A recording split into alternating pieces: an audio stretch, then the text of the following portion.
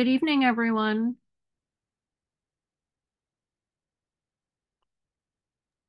Good evening.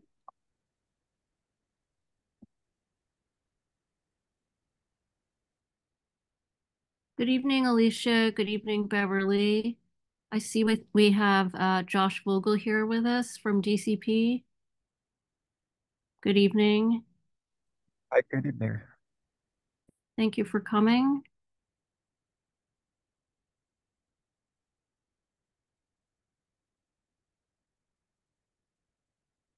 And uh, Mr. Henry Hoffman. Good evening. Thanks for having me. Are you a representative of um, someone or?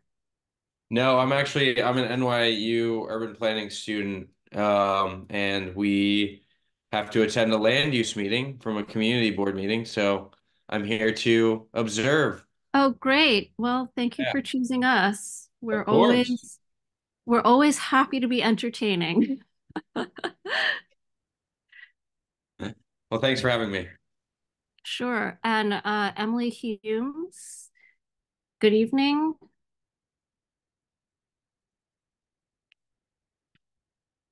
Are you one of our residents? Or, uh,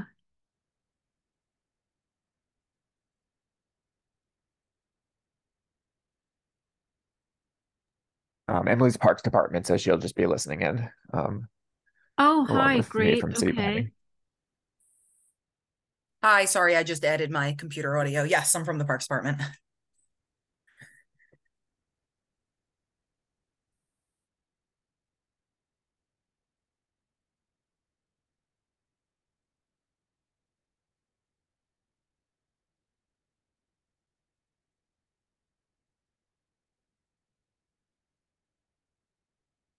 So is this just like a preview, and then the, the committee will be holding another hearing, official hearing, once the Oh yeah, yeah. I, I? I mean, uh, so actually, I just let me just confirm with you. My understanding from your email was that you expect the 962 972 Franklin project to be certified in about 60 days, maybe a little bit less since you emailed us last week. Is that is that correct? Yeah, it'll be May at the earliest.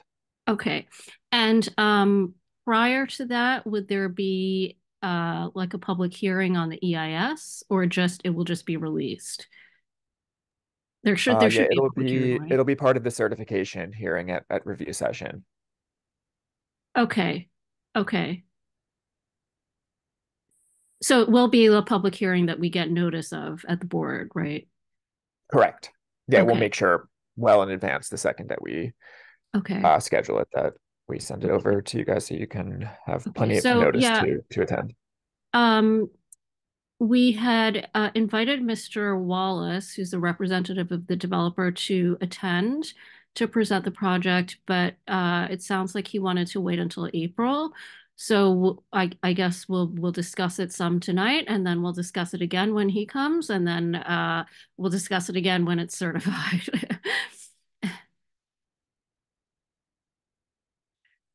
Got it. Okay, so there's gonna be no applicant presentation tonight then? I it does Mia, I don't we didn't hear from him, right? Um, we reached out and no, Okay. I believe that he is going to uh defer off until April. Okay. Andrew, good evening. Nice to have you with us again.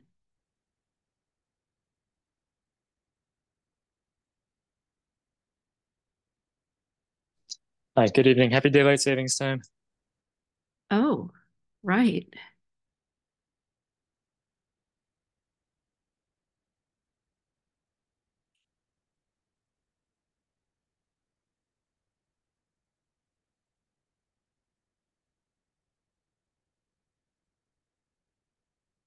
Rod, good evening. Oh, and um, Josh, so we have another project that was recently filed, 7399 Empire Boulevard. And it looks to me like they only filed their initial EAS. So, uh, you know, I don't know if you have, uh, if you're able to give us a heads up at this point, um, what the schedule looks like on that one.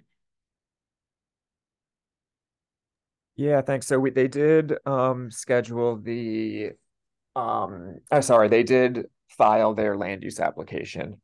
Okay, So, um, that's the first filed. Uh, we haven't even reviewed it yet, so it'll take some time. It'll be at, at least a couple months.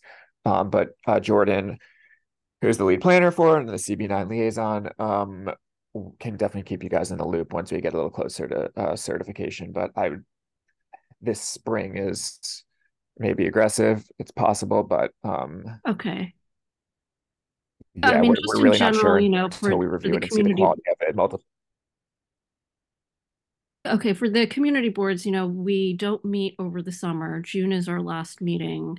So, um, you know, I just like to work with you guys to make sure that the certification doesn't happen over the summer so that we don't really have a chance to meet, you know, to to discuss it.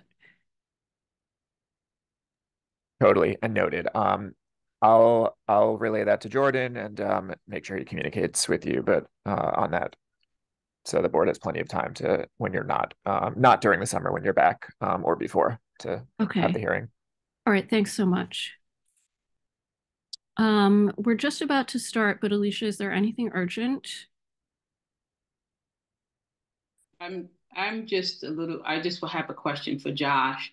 It appears that um, the Empire application is actually to uh, change the C8 designation. And I know that is normally the policy of the city uh, not to allow a private developer to break such designations, especially because the C8 designation does not allow any kind of commercial, I mean residential. And so I just wanted to know why was the uh, Department of City Planning now entertaining this application when clearly it's more like a spot rezoning where you're just kind of asking to break uh, the longstanding uh, commercial corridor, especially in the time in which the city of Yes is making the claim that it needs more commercial enterprises. And you know, as you know, C8s have every type of um, commercial enterprise that's allowed on its corridors.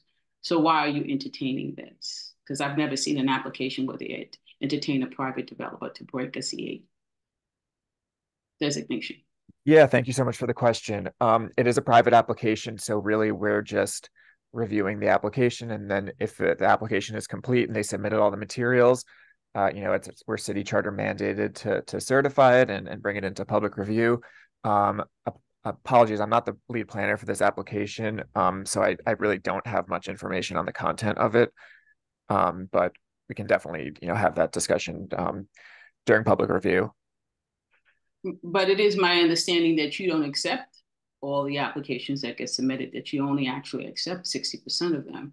If I'm, if another, uh, you know, from what I've been told by uh, the Department of City Planning. So- any any land use application that's filed filed with the department, uh, if it- it's a complete application, um, we- it goes through, it goes into ULURP. We we don't choose what we accept and what we don't. You know, the department will make recommendations to the planning commission on, you know, if we support the application or not. Um, but in terms of accepting it and allowing it to start public review, that that's not our decision. You know, we're mandated by the charter to to accept these applications, private applications, uh, certify them and bring them into ULURP so the community can opine on them.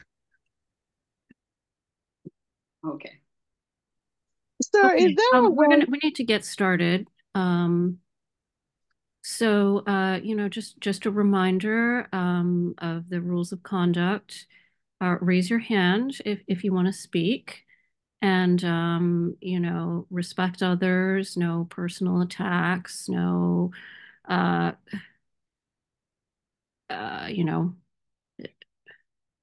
no, no comments of a, of a racially or religious uh, derogatory nature. Um, and and that's really it. You know, try to limit your comments and questions to two minutes.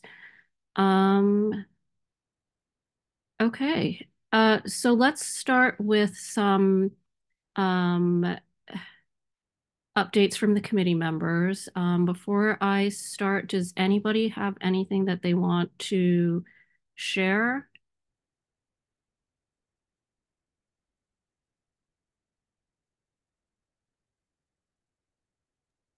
what do you mean share, Suki?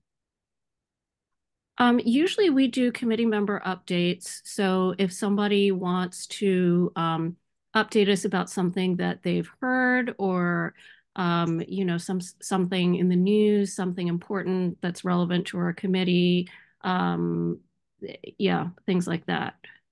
Oh, okay, thank you.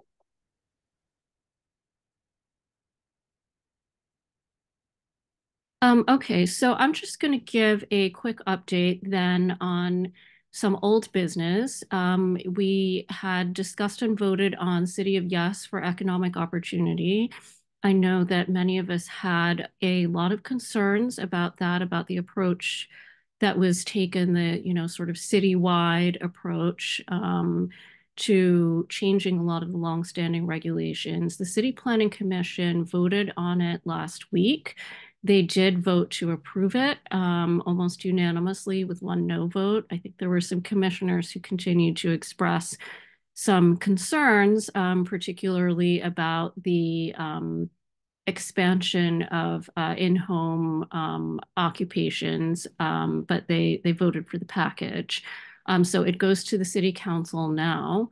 Um, I do not know, Mia, do we know when there's a hearing date? Can can you find out and send it out to us when there's a city council hearing? Definitely. Okay, thanks a lot. Um, Green Fast Track was laid over at the commission's last meeting. I don't know when they'll be voting on it. Uh, Josh, since you're here with us, do you have any idea?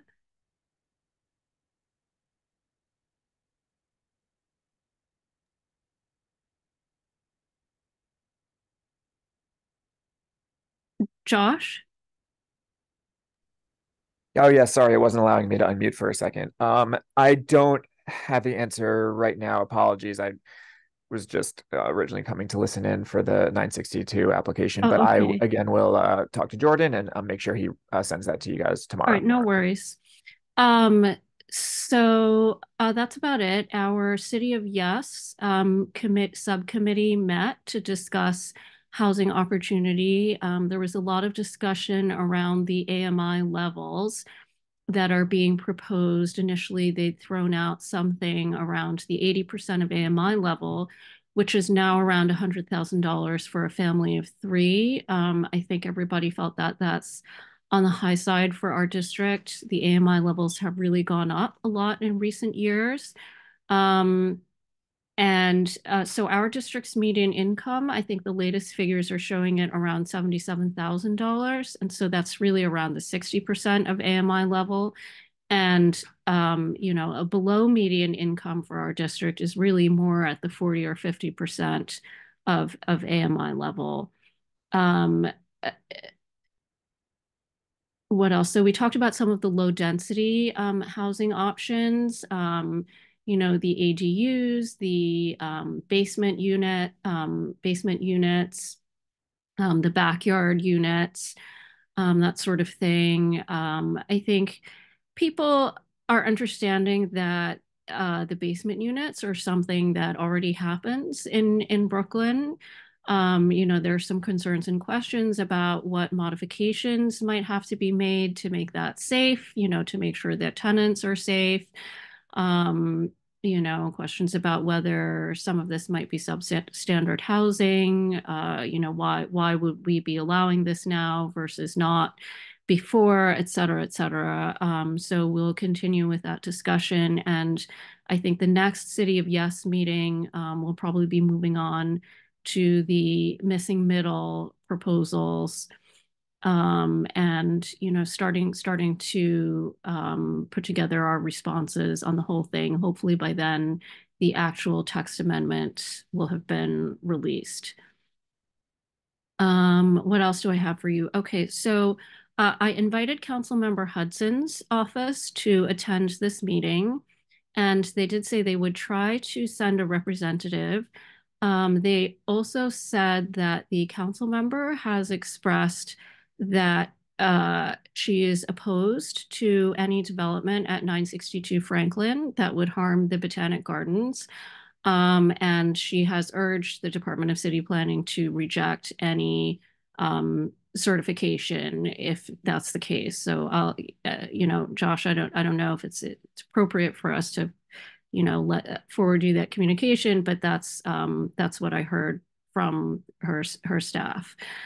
Um, uh, and then of course, you know, we have some new, a new application. We have the 7399 Empire Boulevard. Um, uh, what else? That's kind of all I have for updates. Um, I had also sent out to the committee um, some news about new housing programs that have been announced, like all literally in the last week, that I think are important for us to be aware of. Um, the Faith-Based Affordable Housing Act, which is at the state senate level, state senate and assembly level, um, and the mayor and the city council have both announced programs to raise capital um, to fund affordable housing. Um, uh, the city council um, uh, push is for two HPD programs, one that's for affordable co-ops, the other one that is for um, restoration of rent stabilized housing. And the mayor's fund is with the Building Trades Congress, um, the, the building unions, um, for workforce multifamily housing. It's not clear whether that's rental or, but I, I would assume so. Um, so those are important things to keep in mind, um, you know, as we think about what kind of housing is is possible, um, you know, because now we don't have 421A and that that's actually not just the tax credit, but a lot of developers, I think, relied on that uh, to put together financing. What else? D does anyone else have anything they want to update us on at this point? Um, you know, if anybody's hearing anything from their elected officials, if there's anything going on with Vital Brooklyn that we should know about. Alicia? Just for, for clarity's sake, that the, the City Planning Commission did make some minor changes to the, the economic tax amendments.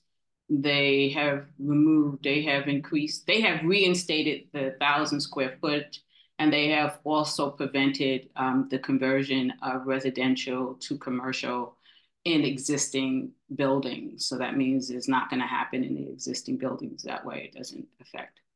Well, that, um, right, that's for the upper floors. Um, right the upper floors conversion. However, the the when you the speaking about um, the proposal that has now, you know, some memorandum that has been signed between, you know, the union and the mayor to create workforce option housing for you know, uh, workers, I just want people to be aware that that starts at $130,000 and moves up. The workforce option is one of the most expensive, highest AMIs in the mandatory inclusionary housing program. So it's going to, you have to be, let's say, um, it is comparable to the residents who live in Park Slopes, for example. It's a little bit above their average medium income. So the fact that they're claiming it's for the workforce, quote unquote, is really not for the workforce. It's going to be for high end market rate housing, if it, especially if it comes into communities like ours. And that's yeah. Really well, we can um, definitely. I I um, would like to talk about that a little bit more later.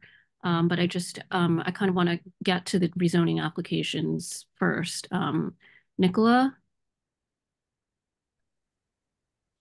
Hi, one, one note based on our meeting, our City of Yes meeting last week, uh, that I think is key for this group to think about um, was that map that you created, Suki, and I, I believe I saw it in Gothamist, or there's another article um, that was basically saying the same thing, that truly affordable housing that is going to address some of our, um, the housing crisis um, the high density, medium to high density communities will bear the brunt of creating that housing.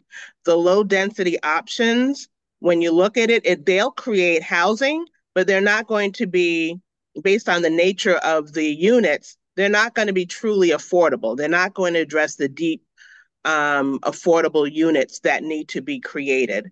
So we need to bear in mind that although we've been told that um, City of Yes really isn't for, we know CB9, you've done your fair share. This is to create uh, a little bit of housing all over the city. When it comes to really creating affordable housing, a backyard unit is not going to do the job. A basement apartment is not going to do the job. Um, probably commercial conversions won't do the job because it's going to cost too much and they're not going to have the ability to provide the deep discounts. So once again, uh, our community, Williamsburg, Bushwick, all of the typical players that are currently bearing the brunt, from my opinion, will continue. And so we need to keep that in mind and make sure that we address some of these concerns when we um, when we talk about housing and the economic opportunity. Yeah, I, I think Nicola is completely right. I, I think that the UAP program is is going to lead to an enormous surge in development in our neighborhood because we have so much unrestricted R6, which is the category that's earmarked for the highest amount of increase in development. And and that R6 is is already an overzoning um, on all of these blocks that have small houses. Um, so uh, yeah, I, I I definitely share that share that concern. And the low density proposals do not require affordable housing um, it was somewhat shocking to me that even the proposals for shared dwelling units, which are essentially SROs, which, you know, SROs traditionally are like rent controlled apartments, but there would be no no income requirements or rent caps for those. Um, so essentially, we're getting back SROs, but at any price, which is a, little, you know, that's very surprising to me.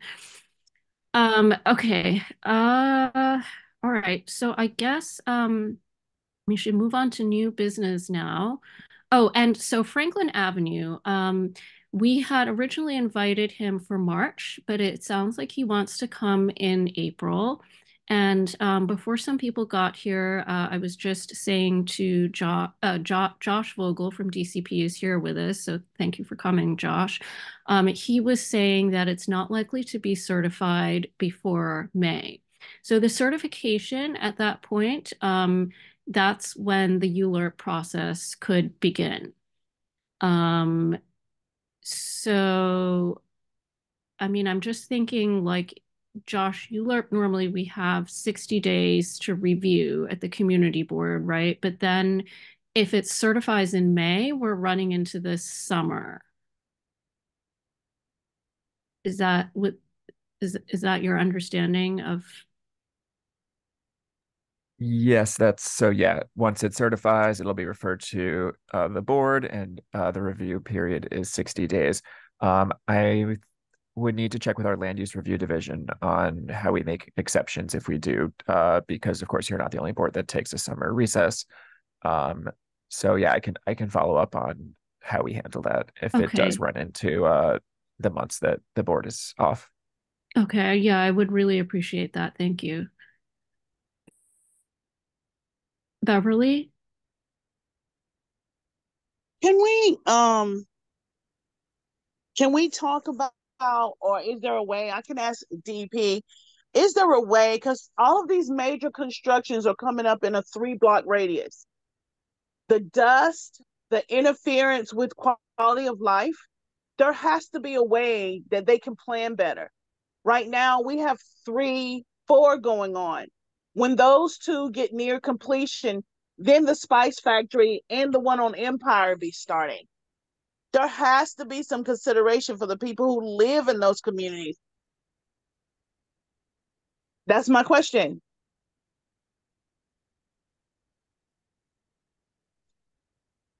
Anybody answer? Josh, you want to take that one? I, I I know you're Uh, I'll just say for 962 Franklin, it's it's just a land use application for rezoning at the moment. Nothing's been approved. Um, so I think it's uh yeah, I, I definitely, you know, can't speak to construction because we're just so far away from that. Uh, but there is, is rezoning has not been approved at the moment. It's not even in ULURP, so I, I can't speak to, you know, Okay, hypothetical okay, approval. I, I realize you, I, I realize you're pushing this back, but the fact of the matter is this: it's just a matter of time. And all those projects right now, we have two on, three on Franklin, one on Empire. That's not even counting the one that's getting ready to start that they just filed the paperwork for. So, and for the last couple months, everybody's sneezing and the dust and the and the, there has to be and and when and when the buildings are built, and this is the sad part about all of it. Nicola, Suki, all of you guys were already talking about it. It's not going to be for people who live here in desperate need of families who who are growing and they want their grandkids to live not far from them or they want their daughter to live not far. Those apartments are not going to be for them. And that's what's sad about all of this. And but there is no consideration for staggering these developments so that the people who already live here can at least survive the development and there has to be something that DEP can do.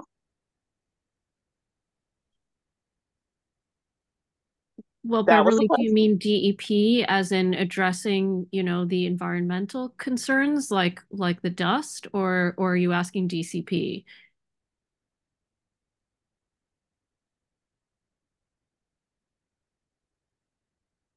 Last two, three months Beverly, are between you between blocking up all of the sidewalks for I mean, and they block them up with these gate kind of things or the pylons so that they'll have parking when they come in in the morning.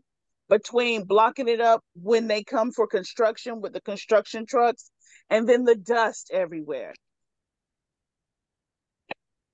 There has to there is a quality of life issue. There is an environmental issue, regardless of what the paperwork says. There is a noise issue, regardless of what the paperwork says. So we're talking about zoning and and and and development and affordable housing. None of this is the affordable housing. Let's start with that. But they're doing all of this at the expense of people who already live here. so there so Josh is that this is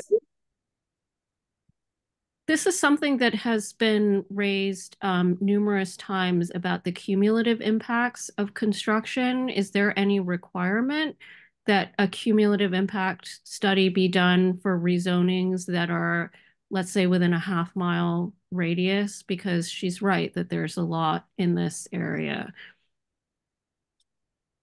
Yeah, no, thank you for the the question, and I I totally hear uh, your concern and you know the issues with noise and uh, you know additional traffic from construction, dust, etc. is is um, a real issue that you know we all see and as New Yorkers and you know impacts all of us. Um, you know, we at city planning we control land use and zoning, so as of right developments, we really don't have any control over. That's more of a Department of Buildings issue. Um, but you know, for larger rezonings, we do do an environmental review, which looks at things like noise and construction, and if they do um, see that there will be impacts, the environmental review will look to mitigate uh, those impacts. Um, but it sounds like a lot of what you're speaking to are, are as of right developments. Um, so again, that that would be more, you know, Department of Buildings or you know enforcement from the police department if it's double parked trucks or, or vehicles.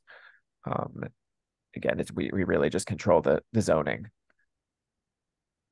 Okay. Um, Felice? Felice? Uh, I had to unmute. Yes, yes, Um, everybody has to unmute. Okay, so Beverly is factual in what she's saying. I live on Washington, so I am on the block, but on the, the other end of it. And I saw first pictures of the asbestos that was taken out. Okay. The men not even properly geared. They didn't have gloves, masks, eye goggles, um, not the proper uh, gear to remove this. And know, for the building department or DEP to allow this to go on or to happen you know, is extremely dangerous. Asbestos, once airborne, it affects everyone. I know this for I used for DEP. Okay. So something has to, someone, something has to be accountable of what's happening around us. We should not be consequence of the greed of people and what they want to do, okay, and what they have done.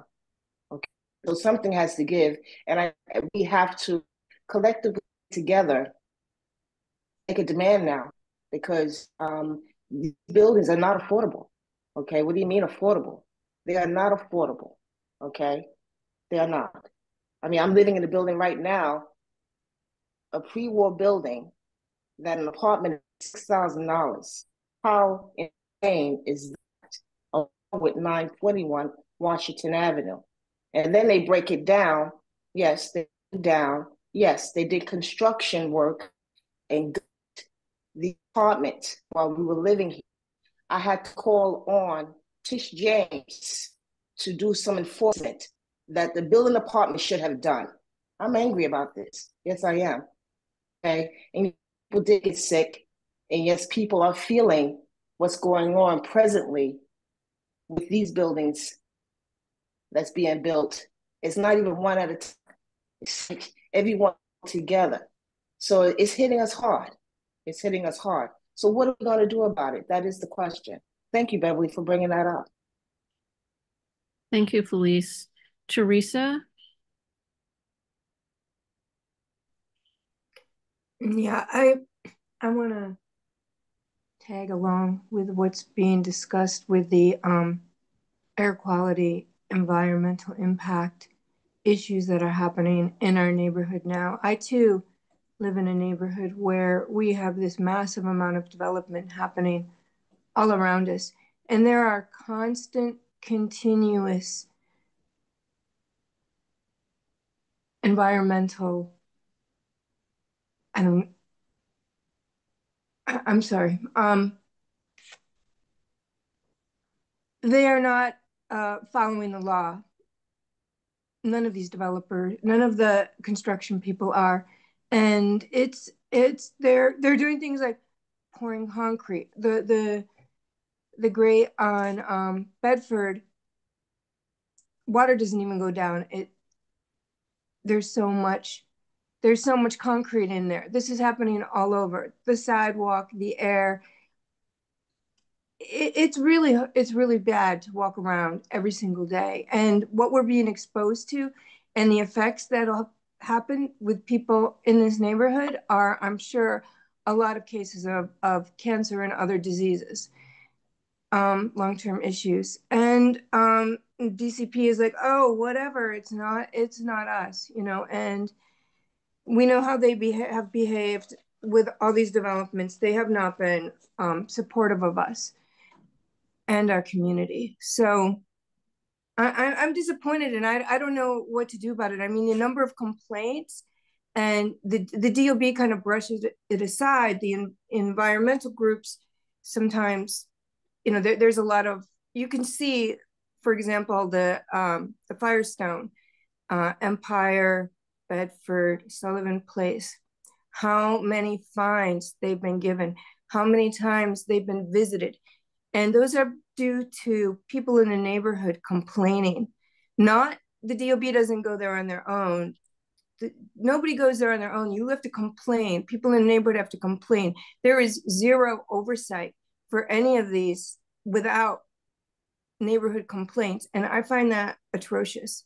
And we often don't know, like I've learned quite a lot thanks to like Mr. Herbert has helped me and my neighbors with um, how to file complaints and get some follow up and get things done when they're dumping concrete in the middle of the street down the sewers. It happens every day. Like this is it's really bad here.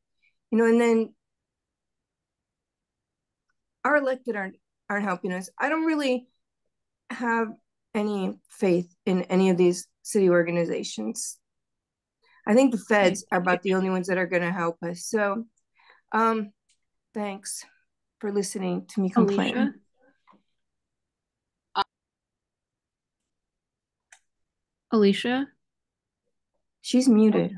Yeah, I'm muted. So just for clarity's sake, eh, Josh, so that you are familiar with this community, um, all of these application, all of these um, developments are happening as a result of rezonings. So let's just be clear about that. The current ones that are now in the construction phase was done by DCP and the proposed ones are again going in front of DCP. But I'm not exactly complaining about DCP at this point in time because the two applications that are in front of the community actually have uh, the, our city council person is responsible for that. So if you need to focus your energy on anybody, it's not DCP, which is a government entity that's controlled by the mayor anyway. And so whatever they do, they do because the mayor tells them to do it.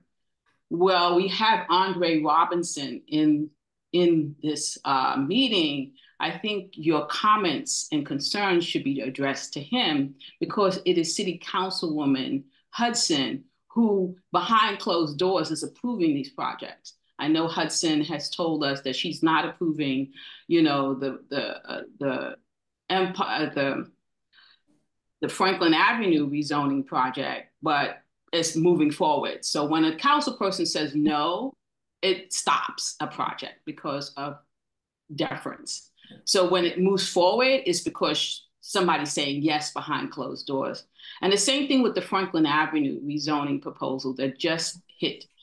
Um, it was noted in the paper that people have been lobbying City uh, Hudson, clearly going to her and speaking to her about it. When we met with her, she did not disclose this, even though we talked about Empire. She did not disclose the fact that she was approving this project.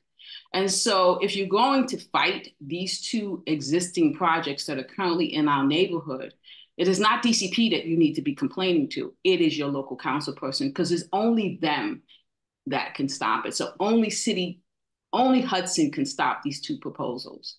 And so let's try to focus that. So I have a question for Andrew Robinson, and because he's here representing um, Ms. Hudson. What why did um, what has been the city council's position on the Empire Boulevard rezoning application since she has been lobbied for that it was noted inside of the newspaper and what position is she taking with that to justify more development in this community when we clearly have a lot of a lot of development within a very short square radius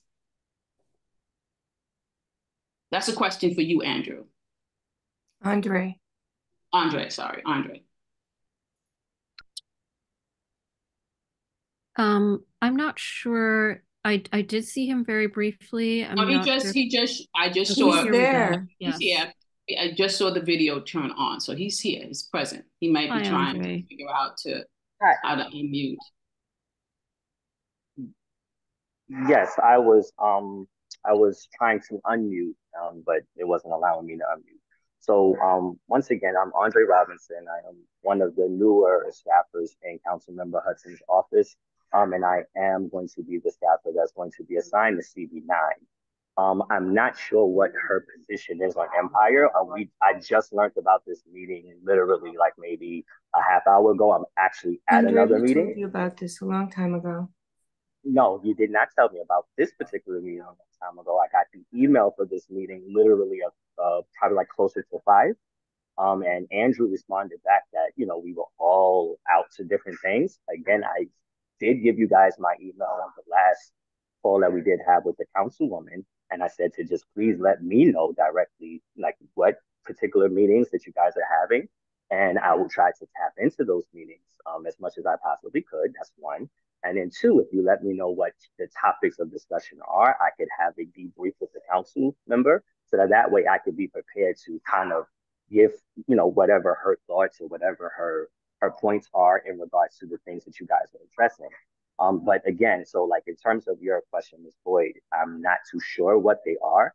But if you can give me your concerns, I can definitely have a conversation with the councilwoman, and then I can, you know, relay those those pieces of information. I mean, I know Well, on the call we did talk about um, there were a couple of developments that you guys did bring up. Um, one in which she said that she wasn't in support of, um, and she's not going to approve that. Um, and I know um, Uh, not sure who Suki is, um, but I know I, I'm the did. chair of land use.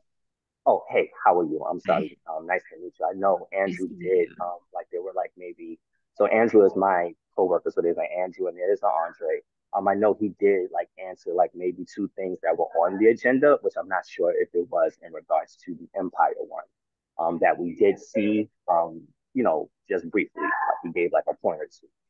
Um, but again, you you know, um, Alicia, as she said, if you guys do have any concerns or anything specific, um, you can definitely send those to me. I'm going to drop my email in the chat.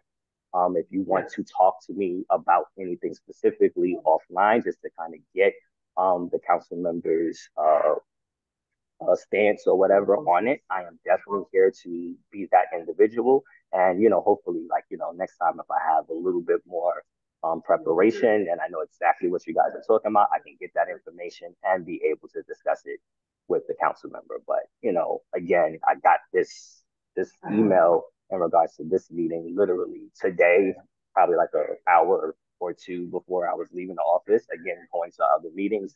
So just as long as if you give me what you guys are actually going to talk about, I can have the discussion with her and get back. Um, so I, I, I don't like to come on a meeting and say or you know give the wrong information um for the member. So I don't want to say what she is for and what she isn't for without having a conversation with her to know exactly what that is. Oh yeah. Well, we appreciate you being here to listen. Yeah, so I, I definitely, yeah, I definitely will listen. Um, that's always 100% as I did during the other meeting. You know, I will take my notes so that that way I know exactly, you know, what you guys are asking for so that that way I can, you know, bring that information back to the council. Well, uh, one thing also, Andre, am I saying it right? Yes, Andre, yes, that's correct. Okay, okay, I do apologize if I mispronounced it.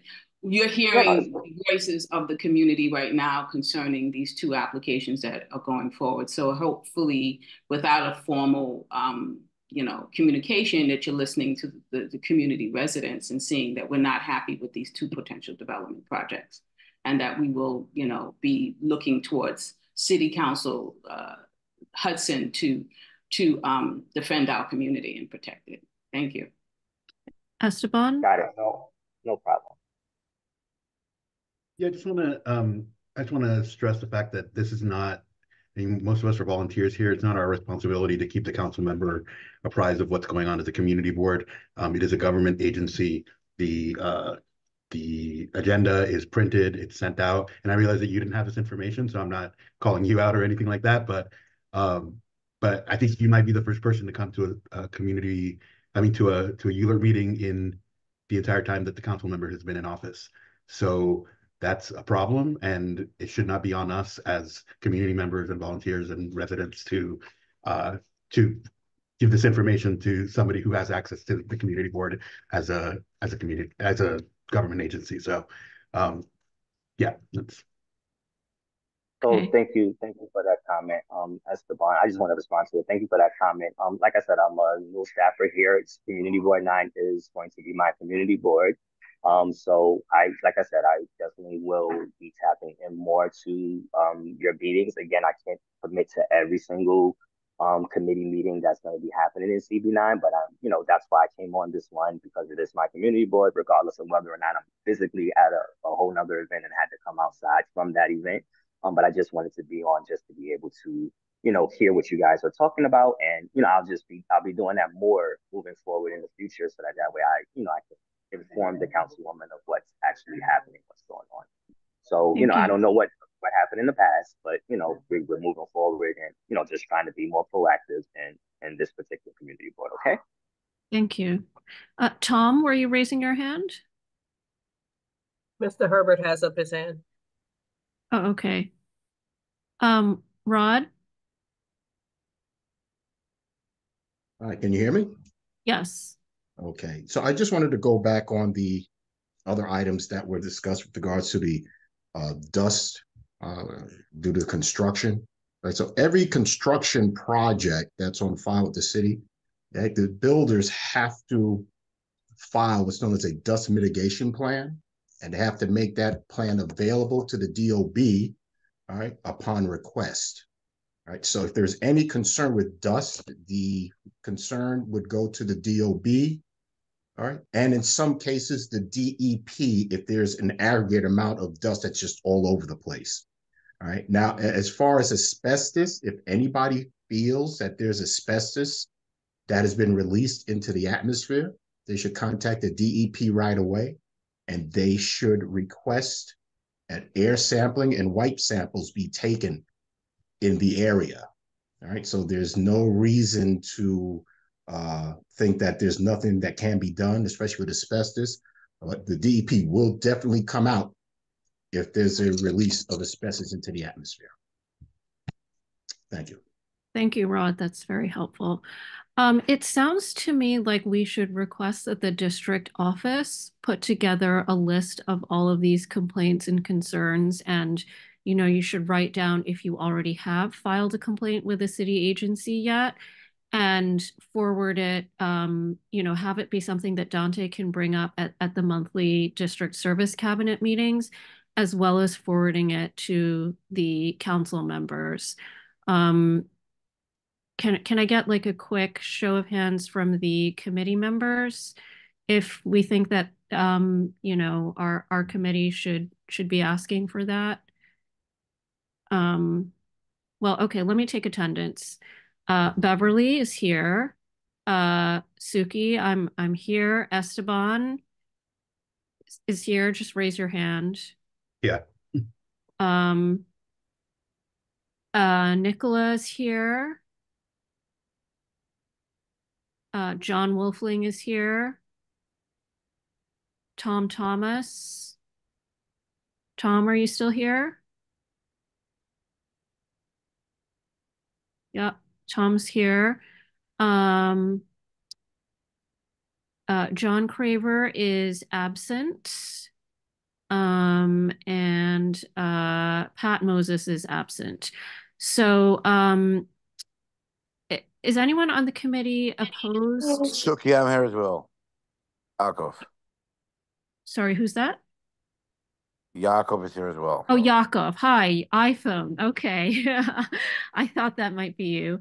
Um, okay, so um, yeah, is there anyone from the committee who would be opposed to having the office put together a list of some of these concerns that you all have mentioned and um, you know, I rely on you guys to actually email the office, uh, CC me, um, you know, and and have Mia send out something, eh, and and Dante take this up. And anybody opposed, just raise your hand or think that something should be added or, or changed.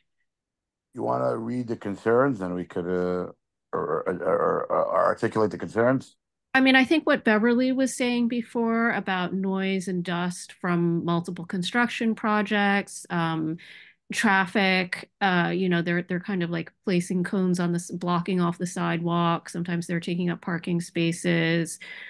Um, uh, Teresa was complaining about asbestos. I think Felice mentioned the asbestos as well um, you know, I, I think for the office to address these with the city agencies, they have to be specific, right? There has to be an address. It has to be like this was observed at this time at the, you know, and and this place.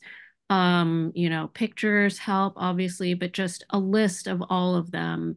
You know, particularly if they're all happening within a small area, I think um, this is something that they should be raised together I, if I'm not mistaken, I may have misunderstood, but I think Beverly was addressing the potential for future issues if there's a bunch of construction projects happening at the same time. I didn't hear her address specific problems uh, going on now, but I may have misheard. Suki, you're I right. You're right, Suki.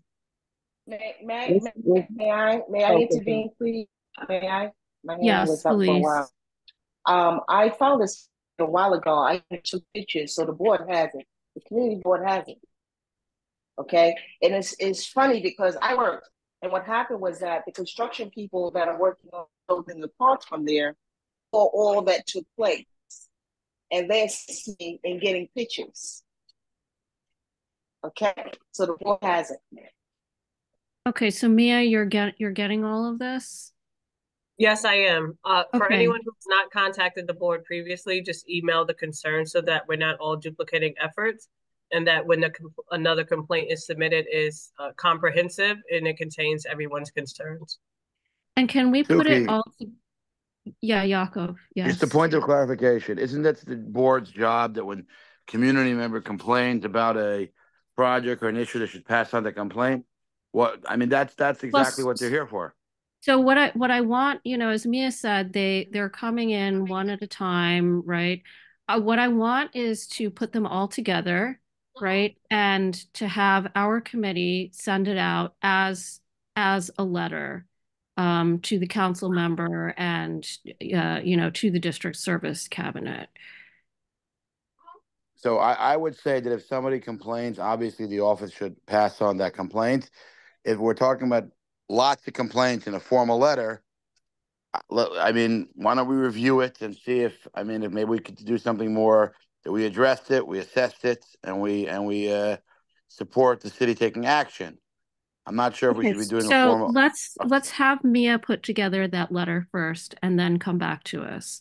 that's what I'm saying. If, if, if it's, if they're gonna just pass out a complaint, they don't need us. If we're asking something more, then I think we have to Well, I- review I the think- complaints. Right. I think that's what I'm saying. I think the idea is, um, you know, if it's a large number of complaints and similar complaints in the same area, maybe this calls for like a more general traffic mitigation plan or environmental mitigation plan for the area. Um, so what I'm asking is that Mia put together the list and share it with us. Beautiful. Is that possible? um, Mia?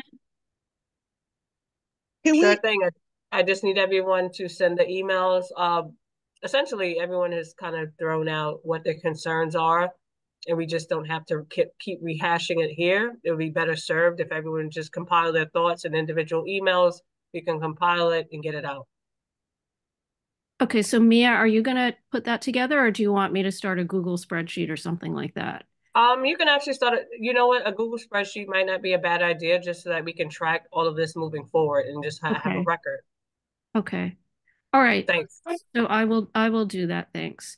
Uh Beverly. no, I was just going to comment on, we don't really know when, say for instance, I'm not going to know if Felicia's already sent pictures in regards to their removing asbestos without the proper signage. I'm not going to know that. I have pictures where they've done that and the trucks are coming in and removing it, but I don't know if um Felicia's already done it. And the only person that's really going to know is Mia when all of us send them to her. So how and Mia's asking us not to do not to be redundant, but how are we going to avoid that? So I'll put together a Google spreadsheet that all of you are going to have to contribute to because I have no Okay. idea what any of you have done except Teresa is the only one who emails me with with what she does. Um, Okay. So all of you are going to need to contribute to that. And then, um, you know, Mia can also write in whether the district office has taken any action. And Dante can write in if this was raised with the service cabinet and what the response is. And then we can share it with our council member. And, you know, if appropriate, maybe there's something DCP can do as well in terms of, you know, asking for the mitigation plans. Teresa? But one thing, sorry. Yeah, yeah, I just want to make a point that, um, for example, 1750 Bedford between Sullivan and Empire, there have been there's there's a litany of complaints, and I've made them, and my neighbors have made them, and it it's just ongoing. It's like they they continue to do things, and they just accept the fines. The only organization that has been fruitful has been the the the DEP with getting them to to change how they're dumping the concrete is a big issue. Street collapse is a big issue. We've had four street collapses in this area between the area in front of McDonald's and on Empire and an explosion. It's bad. It's really bad. And I do send them to you occasionally, but the number of complaints I make are are more because I don't, you know, I feel like I don't want to bug everybody with this. And it's very stressful to make, you know, it takes a long time to, to file these complaints and make them and file, you know, when the DEP contacts me, I, I have a, I have a phone number for somebody now. I can text them, you know, and this is, is ongoing and I, I don't have time to inspect all these sites. I just walk by the one every day because I take my dog to the park, right? So I see, and it's like sometimes I don't even walk by there because it's it's so anxiety producing.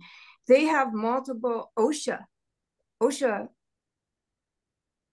complaints and violations and fines, and they just it's not stopping. It's not it's not changing. It's not any better. It's just continuing and they just continue to work and they just take the fines. And i think those fines i don't think they pay them.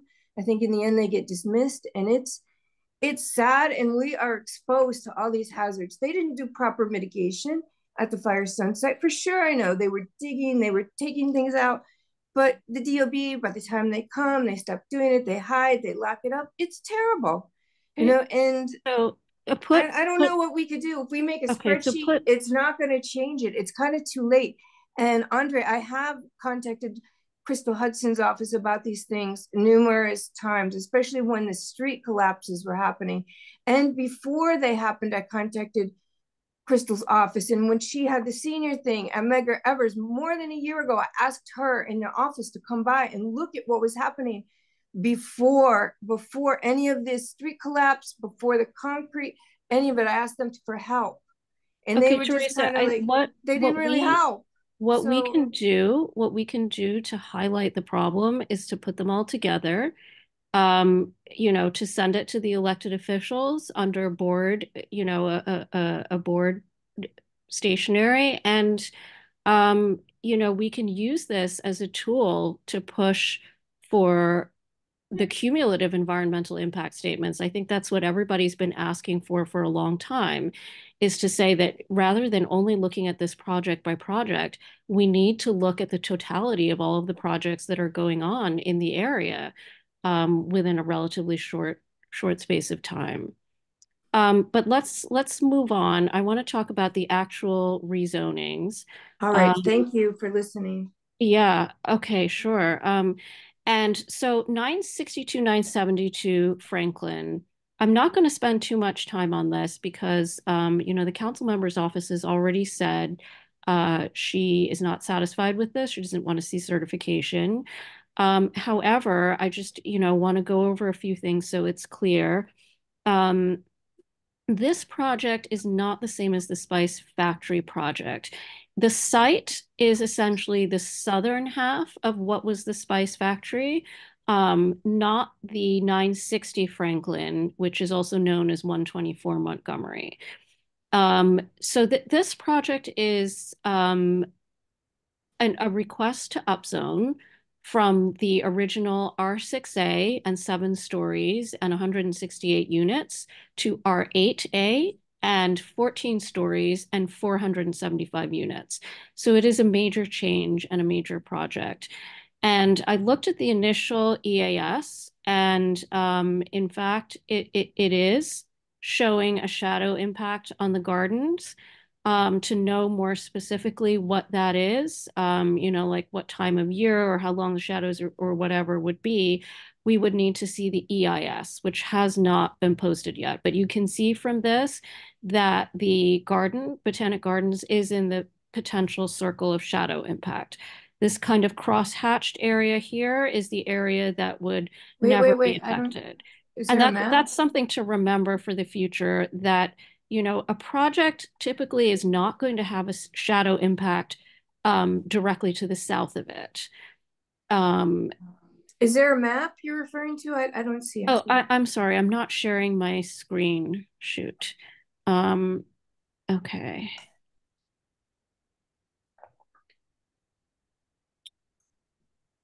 Sorry, I just started talking without sharing my screen.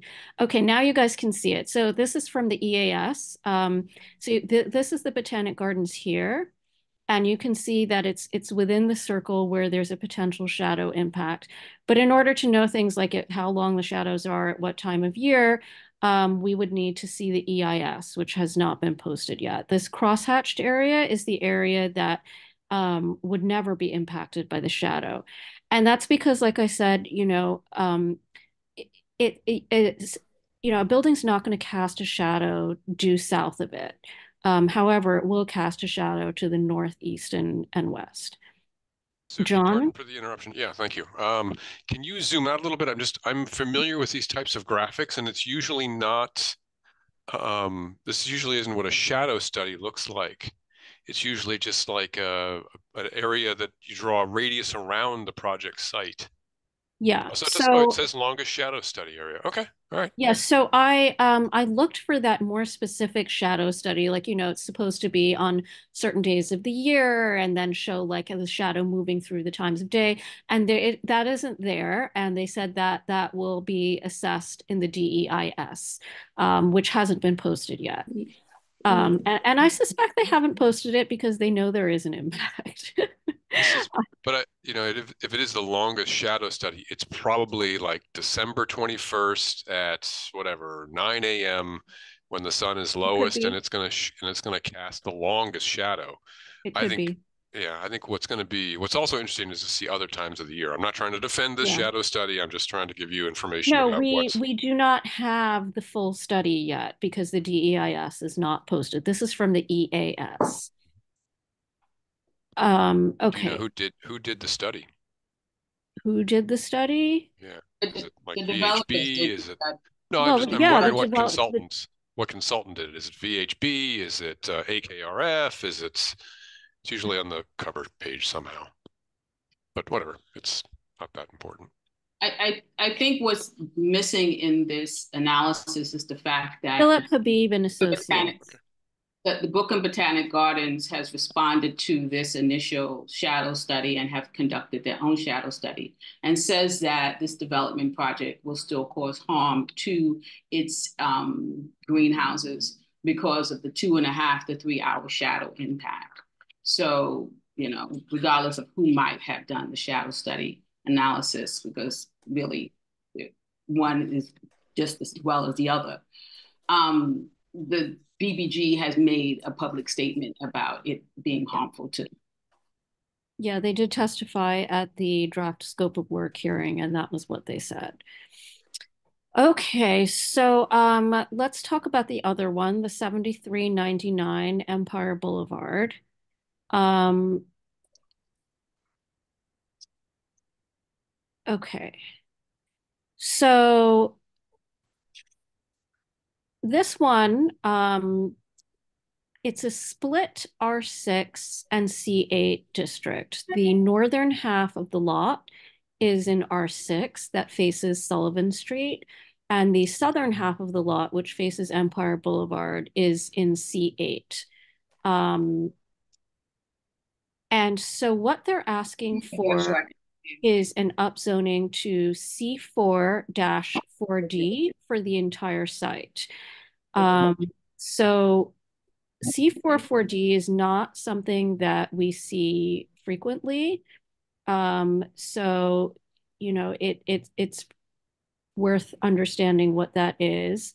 Um, hold on, I'm going to try to, let's, let's see if we can just.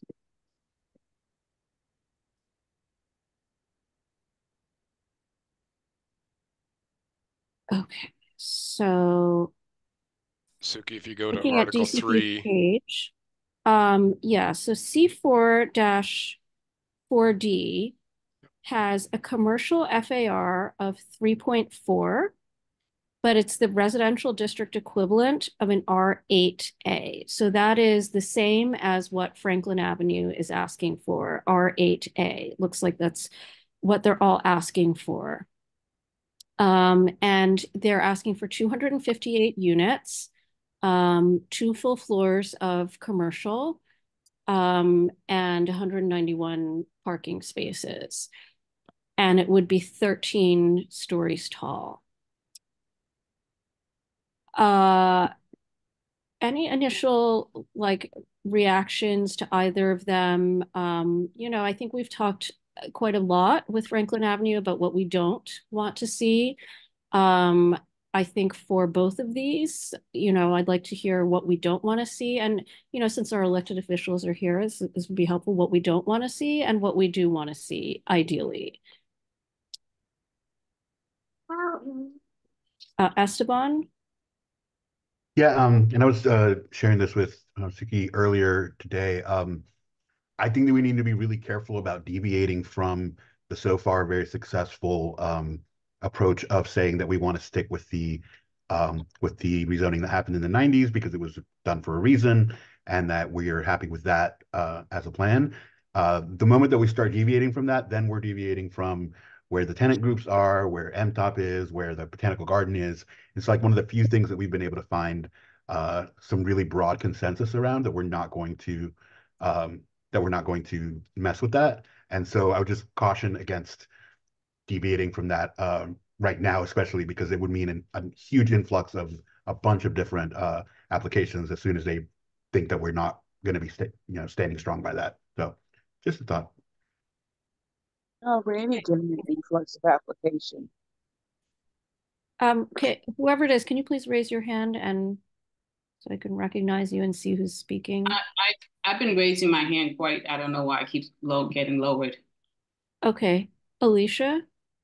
Um, what is really clear, if you look back at that map, Suki, is that there's three blocks of the C8, and this is a commercial district that does not allow residential. The moment that you break that, the moment that you break that and allow this development project to happen, now we have a slew of development projects all down Empire Boulevard. And they will use the breaking of this first one as justification for everything else. And we have a lot of sensitive lots on Empire Boulevard. There are two storage units that can be easily converted into um, uh, an application to rezone. We have um, the, the uh, Western Beef, whose owner has been selling off and developing his projects, um, property from Western Beef. And so we can see that as being uh, a motivator for Western Beef to be removed out of the community and a rezoning because it carries a lot of square footage. Um, and so and and so we will be talking about a massive, just a huge amount of development happening. And what would happen is if if you look at the map, there are residential blocks that border Empire and call Empire their backyard. And just for you know public sake, one of those um, properties are mines. Private homes that are abundant are next to Empire once you start doing this kind of development, allowing 12 stories, and then of course the next application is going to ask for 15, and the next one is going to ask for 20, which we've seen downtown as the pattern, we will have no way of protecting our homes from all of the onslaughts that happen when you dig that far down into the ground to create development projects that will go that high we're talking about fault lines we're talking about you know uh, water sewage i personally had sewage and water in my backyard as an as of right across the street that um, that Tara had been complaining about and I complained about excessively. So I can just imagine now allowing those types of developments all on both sides, Empire, both. We're, we're talking about the ruining of our homes. It's, it's just going to be a done deal. And so we must preserve that C8. We must demand that they do not make any changes on yes. the C8, that the C8 must remain as it is. It cannot be broken because once we break it, then our whole neighborhood, and especially the properties along the along Empire Boulevard will be gone, especially those private homes. And yes, I want to preserve my private home. Yes, I bought it. I want to preserve it. I want to keep it. I don't want it to be flooded. I don't want to have to talk about trying to mitigate it or trying to figure out which development project actually caused the harm, which would be years and years and years of litigation inside the courts. I want my home protected. And, and so I would act very strongly that it's a no-brainer. The C8 is not going to be touched. We're not even going to talk about anything else. The C8 cannot be touched. This application has to go back to the drawing board and consider something else. Leave the C8 alone. Okay, thank you. Um, John?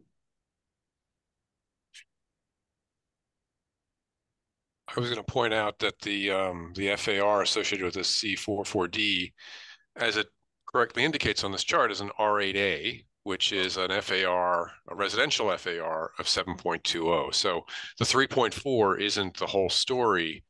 Um, and I'm actually I'm surprised that the um, that shadow study that you showed, Suki, um, had a December 21st uh, shadow that was so short and so limited. It looked like it should have been a much more expansive um, shadow impact, but what do I know?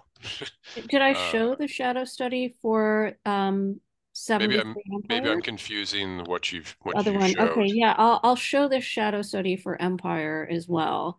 Um, but the shadow study for Empire actually, you know, once again, the area to the south, um, which is the homes on Sterling Mhm. Street, does not does not affect it. It's um the area to the north, which is Ebbets Field, um, which and the uh, Jackie Robinson Playground and um, the uh, the elementary school there, PS 375, that may be affected.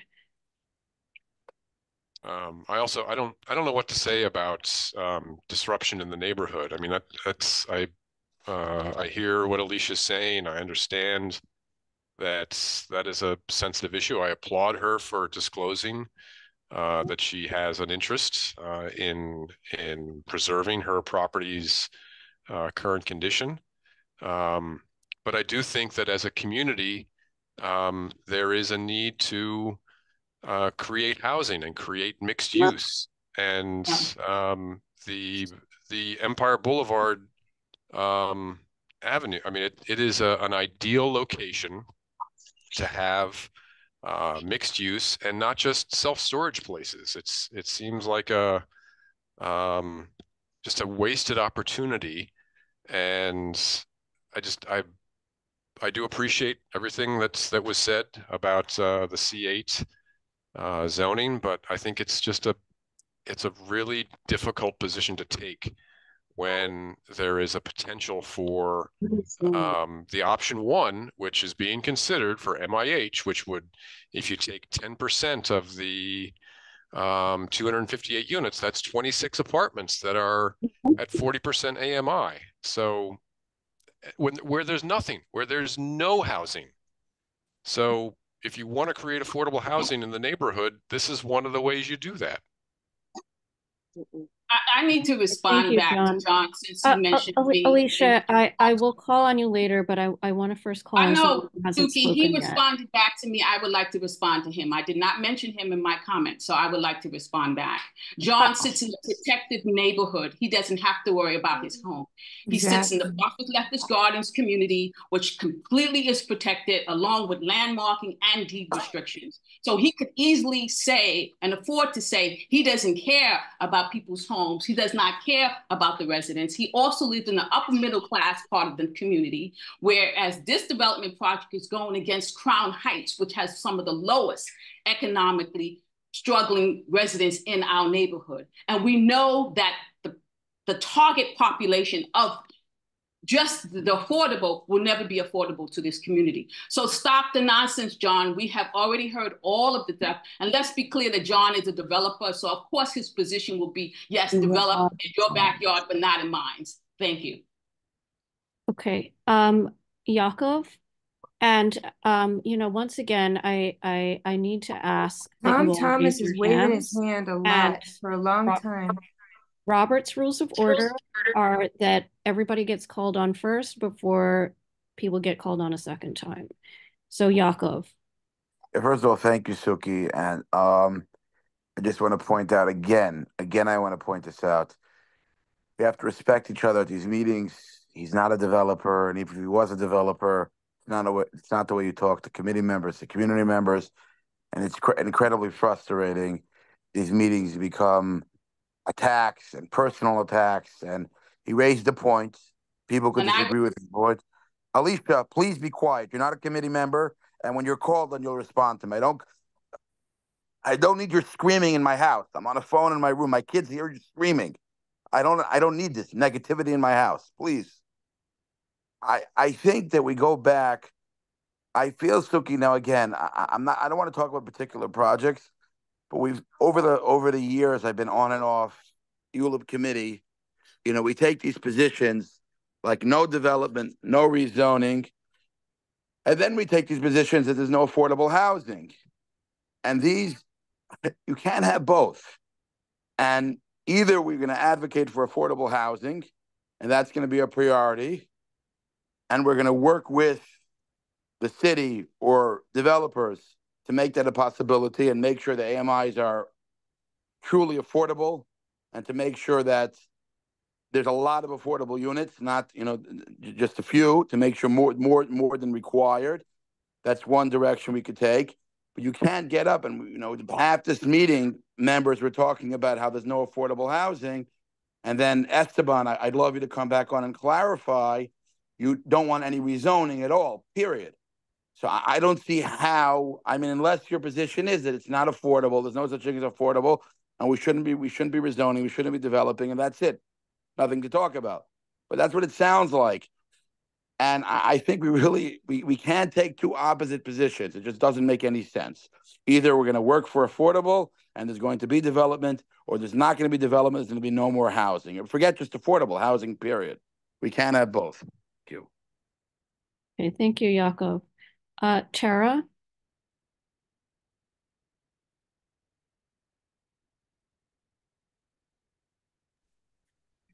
Yeah, I, I just want to make the point that um, when you live outside of an area where you're having excessive development, it's very easy to make comments. And essentially, I feel like it's often the case where people that are living in the Lefferts area, in the Brownstones, are throwing Empire Boulevard under the bus.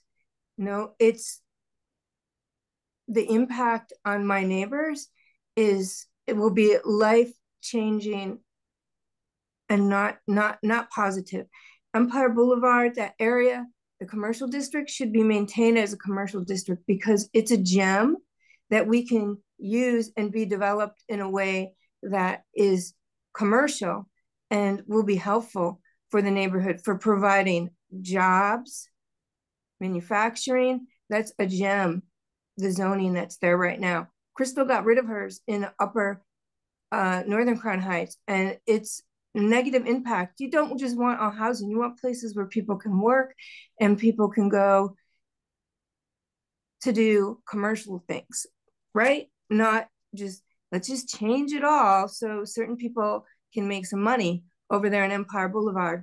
Hmm. Yeah, and I would like to just defer uh, to Tom Thomas. He's been waving his hand like over and over for about a half an hour and nobody's called on him. So please notice him. I think he wants to speak. Uh, Tom, my apologies.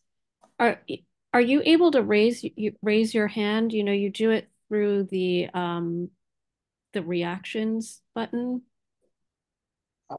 Uh, I've been raising my hand for a while. I, I don't know if you can hear me or not. I hit the unmute unmute button. No, ever I I have to unmute you. So you need to raise your hand through the through the button. It's like a little yellow icon. I don't see my picture. How, how am I going to ra raise my hand if I don't see the picture? Uh, you have a you you have a reaction button and you click on that and then there's a raise hand button. We can see. But, but go now. ahead anyway. Doesn't matter. Do you hear me or not? I hear you yes. now. Go ahead. Okay. Uh, uh, Alicia is right on the money. If you open that crack, Empire Boulevard is gone. There's no justification for this. Everybody understands that the developer is in the game to make a buck. I've met 3% of the developers I've ever talked to have had any concern for the negative impacts on the community they're working in. I'm sorry, but that's that's the truth. So uh, I suggest we just ask our representatives, who are the only people who can make a difference, to convey to them that we don't agree that anytime some guy wants to come along and upzone on, on, on, on the pretense that he's developing uh, affordable housing because it's a joke. So if there's a motion to be made, uh, I mean, I, I, I would suggest that we make the motion that our representative uh, reflect what I consider to be a fairly uniform reaction to most of the people on this screen that, that these upzonings are not legitimate. Exactly. Thank you, Tom. Yeah. Okay. Um, so okay, I I want to actually draw a distinction here between the north side of Empire Boulevard and the south side of Empire Boulevard. They have different zonings.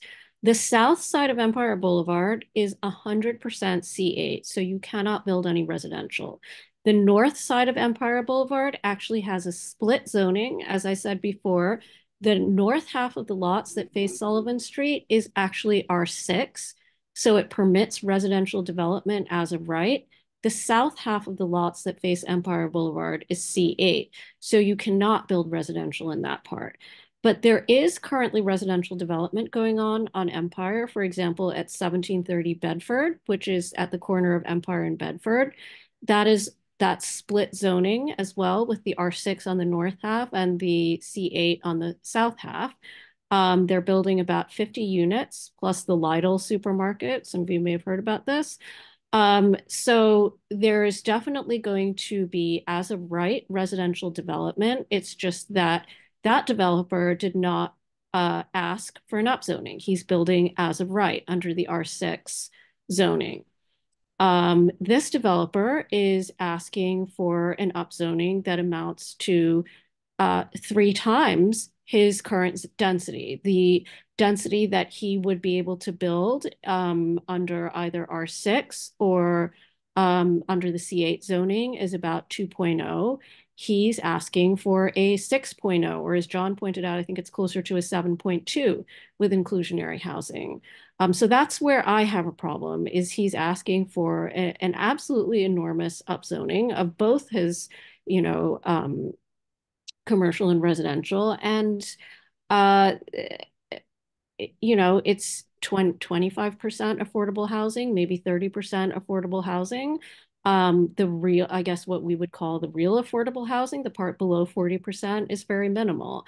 And um, I agree with Esteban that if you give a major upzoning to one of these lots, all of them are going to come to you and ask for it. Um, and, and all of these are potential development lots.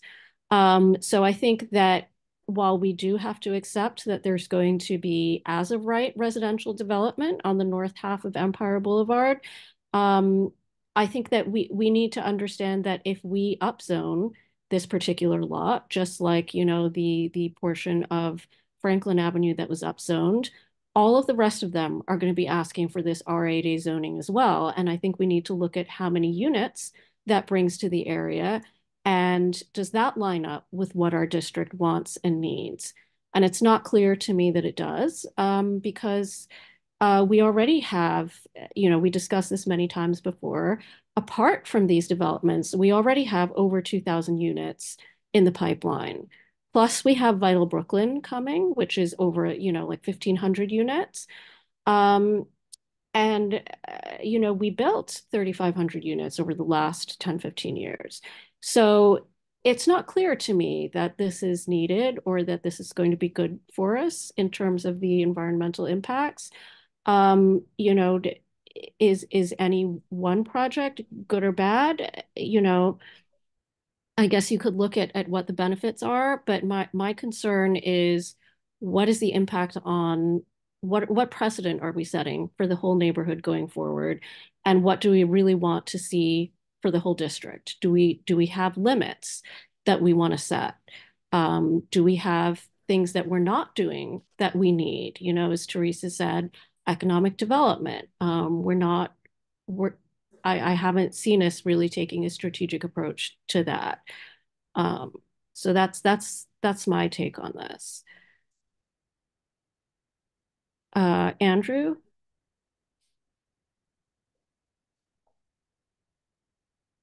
Andrew Magnus, go ahead.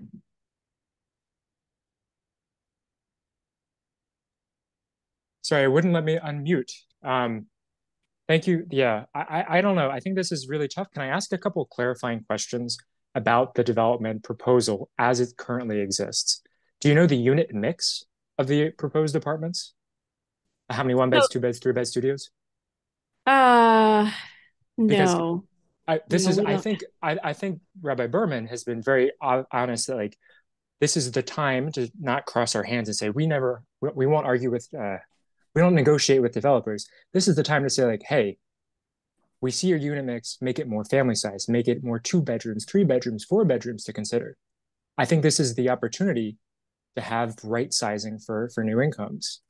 Secondly, uh, does the proposal include any provisions for open space, green space, accessible spaces, public spaces? Um, I don't. Is, is it not disclosed? Because I mean, it sounds like we have a lot of concerns that there's a lot of impervious surface in this area. This is the time to say, hey, we want to make sure that there's more green space in the future than there currently is on this 100% site covered laundromat. That's the other thing I would say. Thirdly, and I want to harp on this. This this laundromat has been abandoned for 10 years since 2014. What has your board, ULURP, done to make this a more commercially viable corridor, help find new tenants, revitalize this portion of the, the community? That's a good question. Like, no, like seriously, if you go back on Google Maps, you can see the same sign has been there since 2014. Pinnacle Realty, 35,000 square feet for rent. I, I don't think that we can, in good conscience, say that, oh, we want to keep this and preserve it as is. When the same group of people that are in this call vehemently voted against the majority of the city of the yes, economic, whatever opportunity thing on many of the grounds that would make things like this more appealing. I, I, I can't I can't wrap my mind around it. I'm sorry. I, I I'll, I'll mute myself again. I don't want to talk too long. Okay, thank you, Andrew. Um, Felice.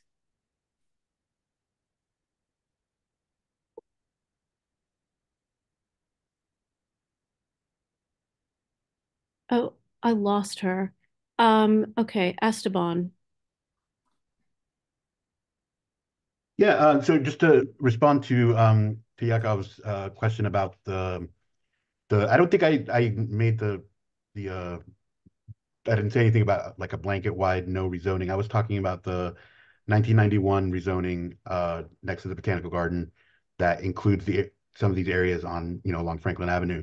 Um that's different from the rest of it. However, I actually I don't think that there should be any rezonings and I will explain. Um First of all, I don't know how many other committee members here are tenants. I don't think that's actually a thing because it hasn't really ever been a thing to have tenants in these conversations. So I'm gonna come, I'm gonna come here and I'm gonna say exactly what I need to say as a tenant, representing the people that I uh, have to work with every day. Um, I think that the arguments being made in favor of this negotiation strategy are really classic YIMBY arguments that like we've seen over and over again not work um, when it happens citywide for whatever reason. And, you know, things don't follow the studies or whatever. Um, so, but we've been here and doing the work and trying to push this stuff off for a long time, and it's made a difference in the affordability of the neighborhood. Um, it's kept our prices from getting to where they are, you know, north of Eastern Parkway. Like there's a lot of clear benefits. We also don't have the highest eviction rate in the city like CB8 does. So there are there's a lot of a lot of things that have been said just now that are um, to me mind-boggling because it's like we're looking at a rezoning any every rezoning that has been like at least let's say in the last 10 years has actively displaced black and brown people from every neighborhood where they've happened in particular the MIH based ones. So that's where I'm coming from when I say this stuff and you can say that I'm not educated you can say that I'm but like this is what I'm doing every day and if you don't if you can't respect that that's fine and it doesn't really bother me but uh but I will be clear with with you know saying affordable housing doesn't mean that you're actually talking about affordable housing. It also means that you're talking about affordable housing for people that are not even living here yet, as opposed to the people who do live here and who are going to have to move out because that quote unquote affordable housing is more for like the middle end of uh, of the lower incomes, not like the lower end of the lower incomes. So it's not quite as dualistic as it as folks are making it seem on here. It's not just like, oh, you either support affordable housing or you don't. Um, affordable housing, a consideration of that has to be what kind of displacement is going to happen as a result. And is what they're giving you in affordability equal to or better than what you're giving up in terms of the, the residents that you're going to lose in a neighborhood? Um, those are real considerations that are really kind of hard to quantify, you know, in a study, but like we see what it does. So yeah, I'm I'm I'm kind of surprised because we've been talking about this stuff here at in particular in Community Board 9 for almost 10 years. And you know, we we the, those arguments are out there and we've seen what happens too. Like we've already like we've been able to to see the trajectory of all of these rezonings and what it's doing and how, how it does it. So um yeah, I uh I I think it's I just think it's I think it's hard for you know people to talk about affordable housing and uh, and in particular about low income affordable housing um, if they're not tenants. I, I I understand what you're saying. I you know I I can value your opinion, but you don't really have to do it in a way that makes uh, the the sort of quaint um, community activists trying to you know protect their their homes and their neighbors' homes as as yeah. I just I, I don't like being lectured by uh, by people who aren't doing this work. Anyway, thank you. One. Um, so I'm going to call on Beverly. Beverly is a is a tenant, and um, I forgot to tell you guys she's a new member of the um, ULURP committee uh, as of this month. Thank you, Suki, and thank you for um, letting everybody be aware.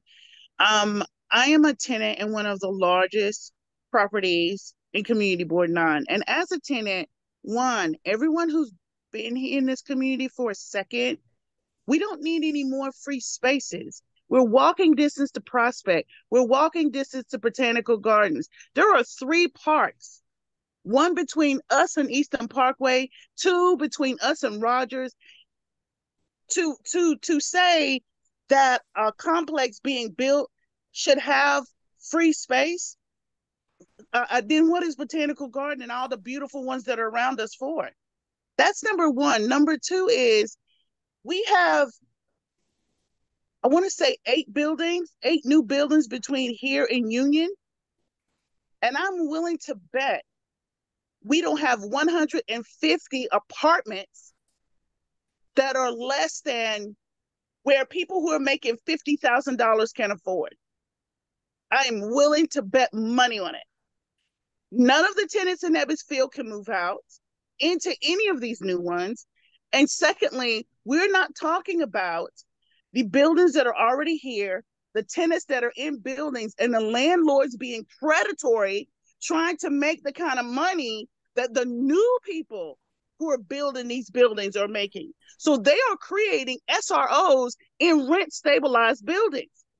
Let's think about the big picture, not how much free space we need or a laundromat that was asked to move from the building that it was in to further down the street. That's why it's not there anymore. Because the building was going to be for sale, and that family has been in dispute for years. Walk around the community and learn how long things have been here and what was the history prior to now. I agree with Esteban. Very seldom we agree, but with this, I agree with him. Those of us who are fighting to keep people in the community, we have a very different perspective. Very different. Thank you. Thank you, Beverly. Um, Nicola? Um, thanks. I was basically going to support from before um, the fact that our fight for the last 10 years has been about trying to maintain the affordability of this neighborhood.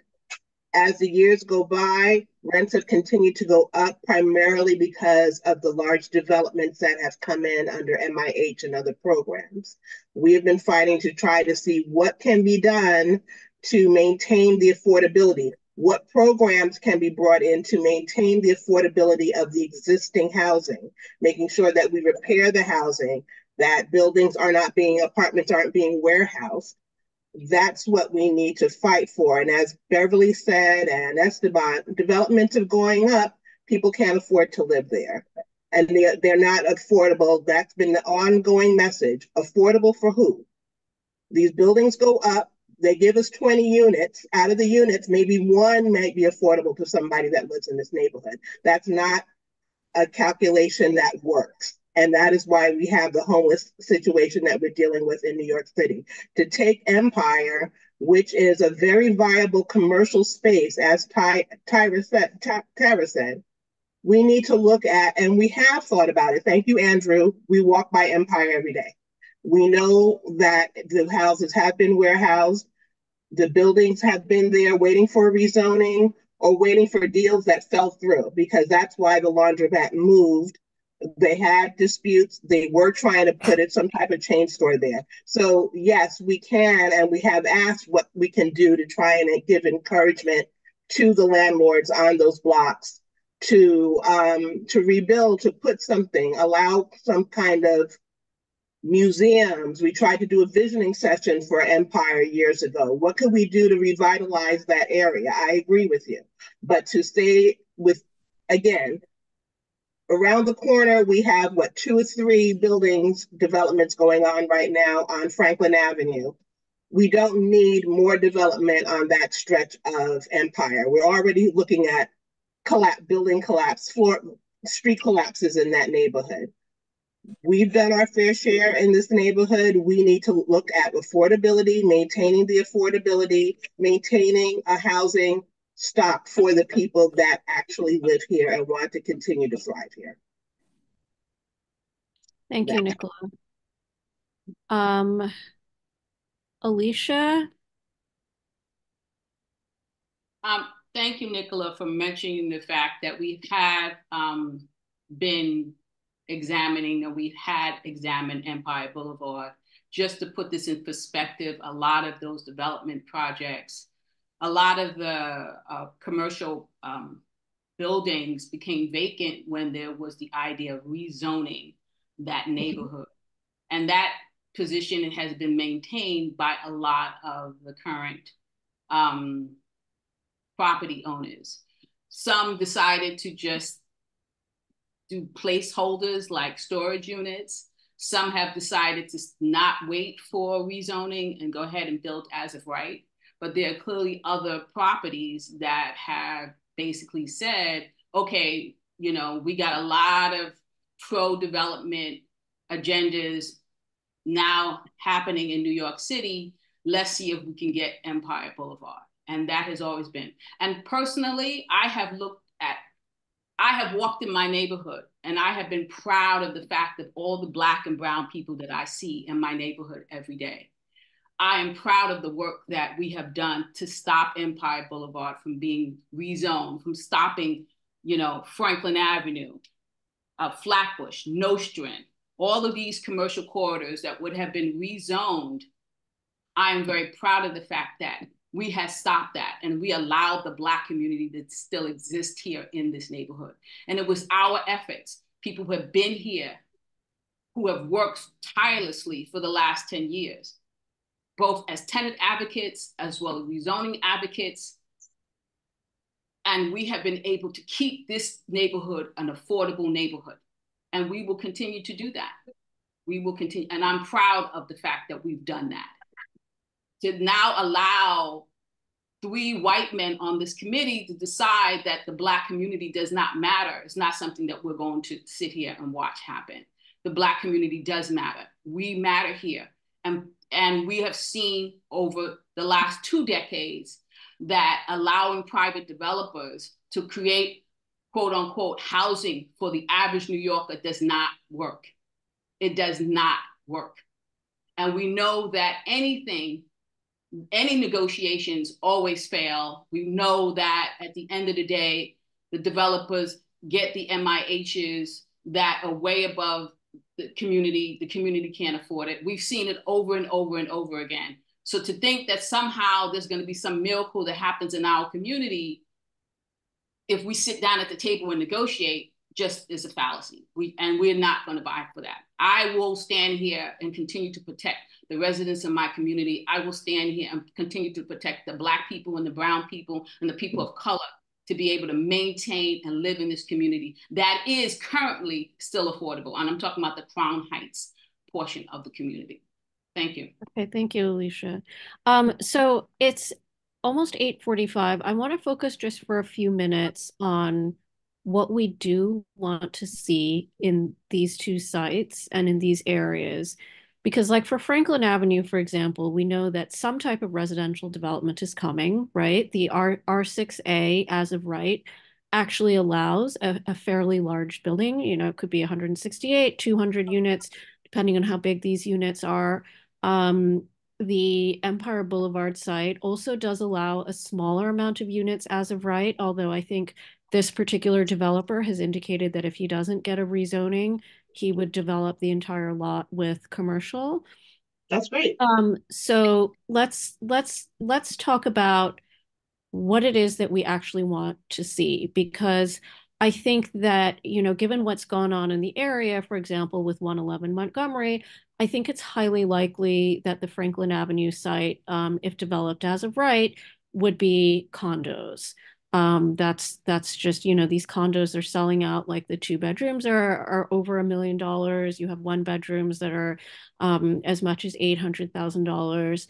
Um, I I just don't see a reason that they wouldn't do condos unless there was something else going on. Um, which uh, you know kind of brings me to to some of the things that I had emailed out um, about, uh, for example. Some of the city programs that that we're talking about, like um, I guess this uh, the city council um,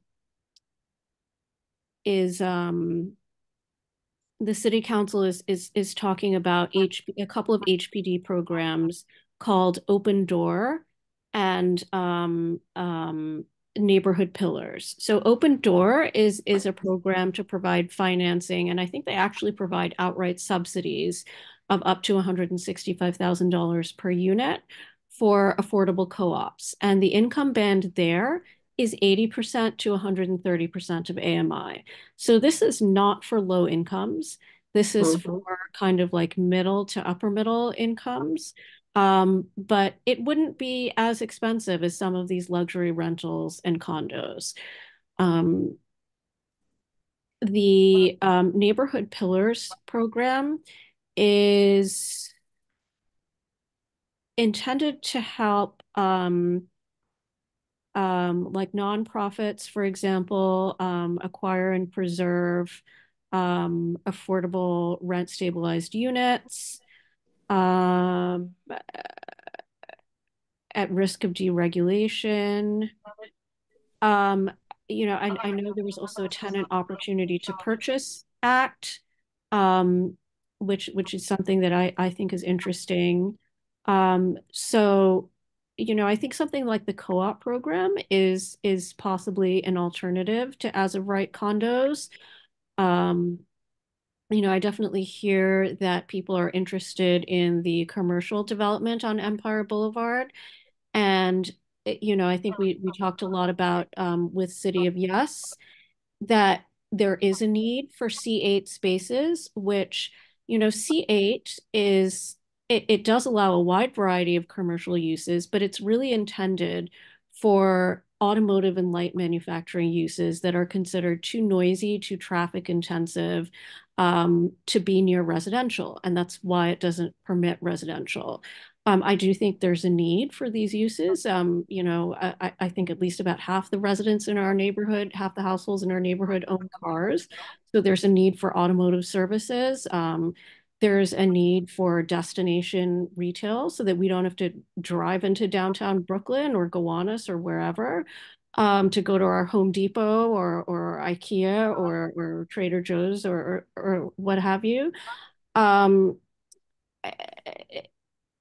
you know, is is there going to be light manufacturing? Um, you know, maybe. Uh, you know, and, and and I would argue that actually that's not what we argued against with City of Yes.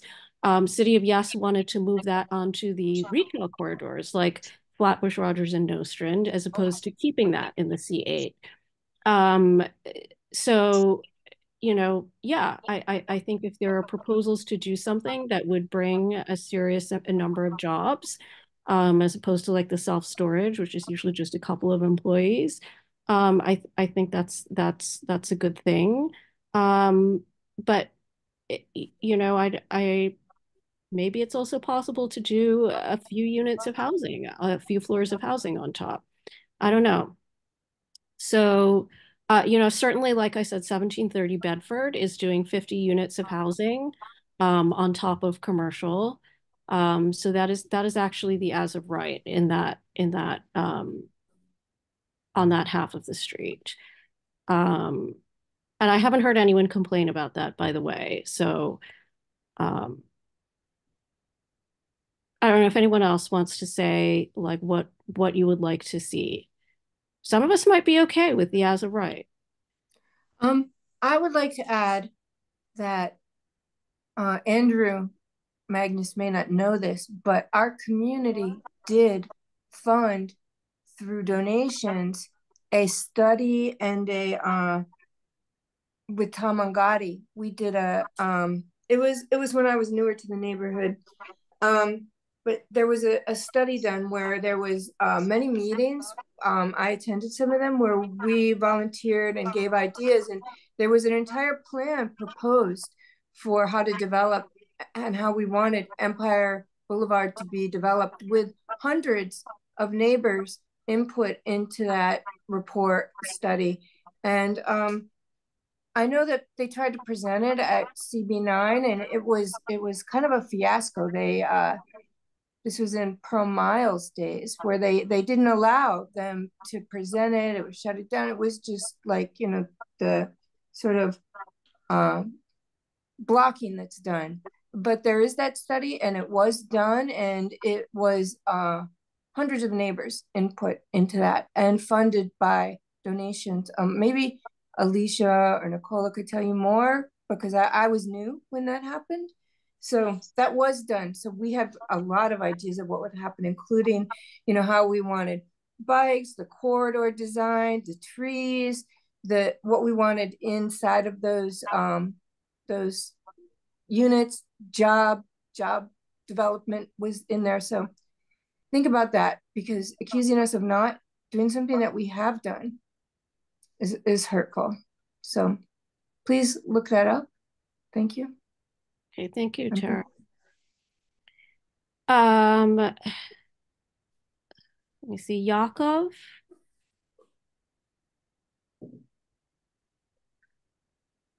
Yeah, I, I want to address the points you made, but just again, I want to say this again.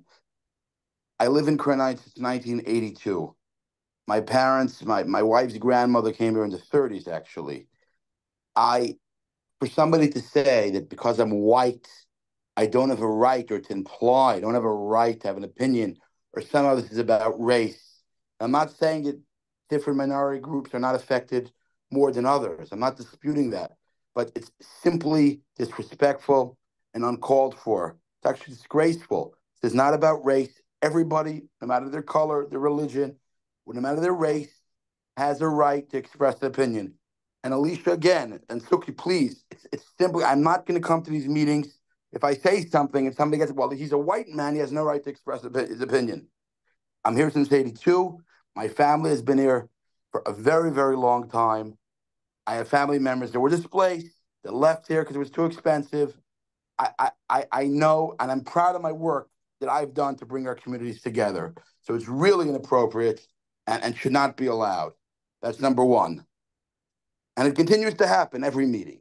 Number two, the second, Suki, uh, this is my challenge. I think what you're saying is great, and you're right that we should go, we should do surveys and figure out what the community wants and what the community needs.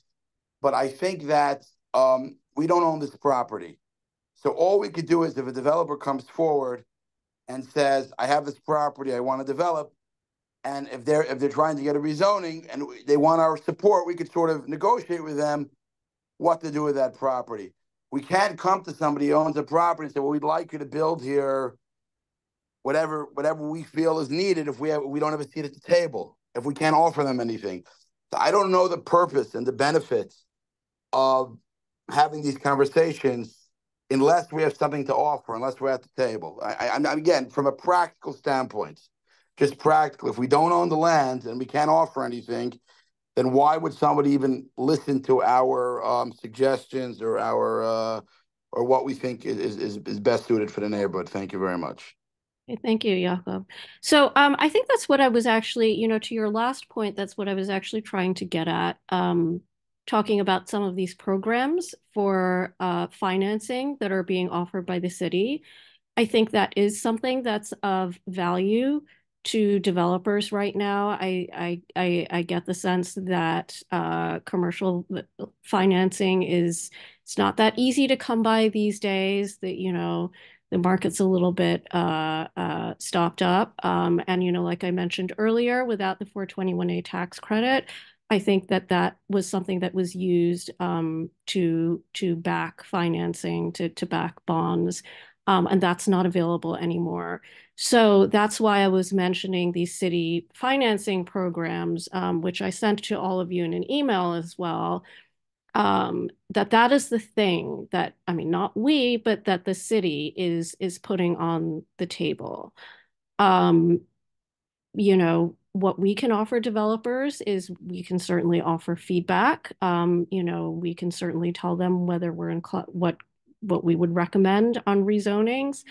Um, my personal opinion is that actually rezonings are a fairly uh, upzonings are a fairly inefficient way to lower land costs and lower lower development costs for affordable housing. I think the financing actually makes a much much bigger difference to a developer's rate of return. Um, so that's just just something to keep in mind. Um, and I think that's why, you know, we sort of chase this affordable housing through rezonings and having to give these absolutely enormous rezonings for very small amounts of affordable housing. And I don't think that's, um, you know, and of course, neighborhoods don't like that for a lot of reasons. And, um, you know, I, I, I don't think that's an efficient way to do it. Um, you know, obviously, if a developer doesn't have enough density to build, let's say it's a very low density site or something like that, that's one thing. But, you know, when we have sites that are already in R6 and R7, um, I, I don't really think that makes as much difference as you would as you would think.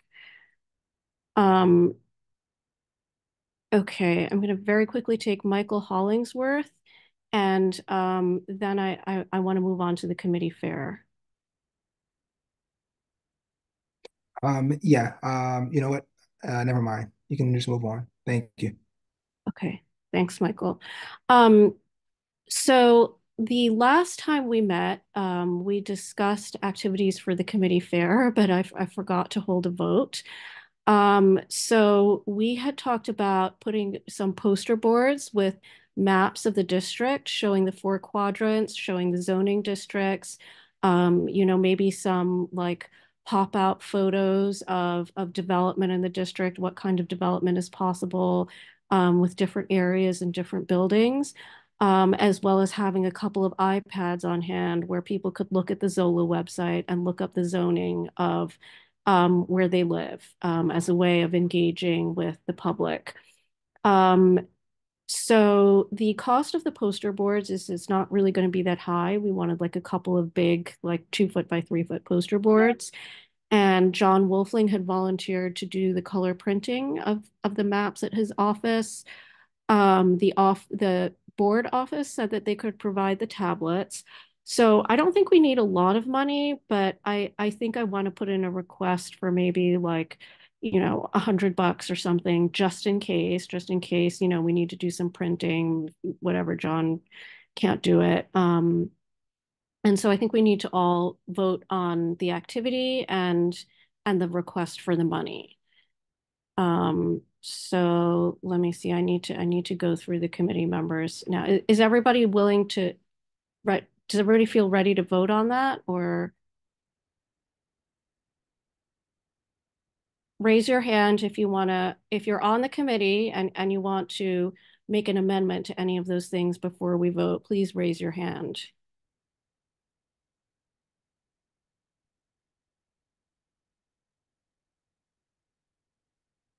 Okay, going once, going twice.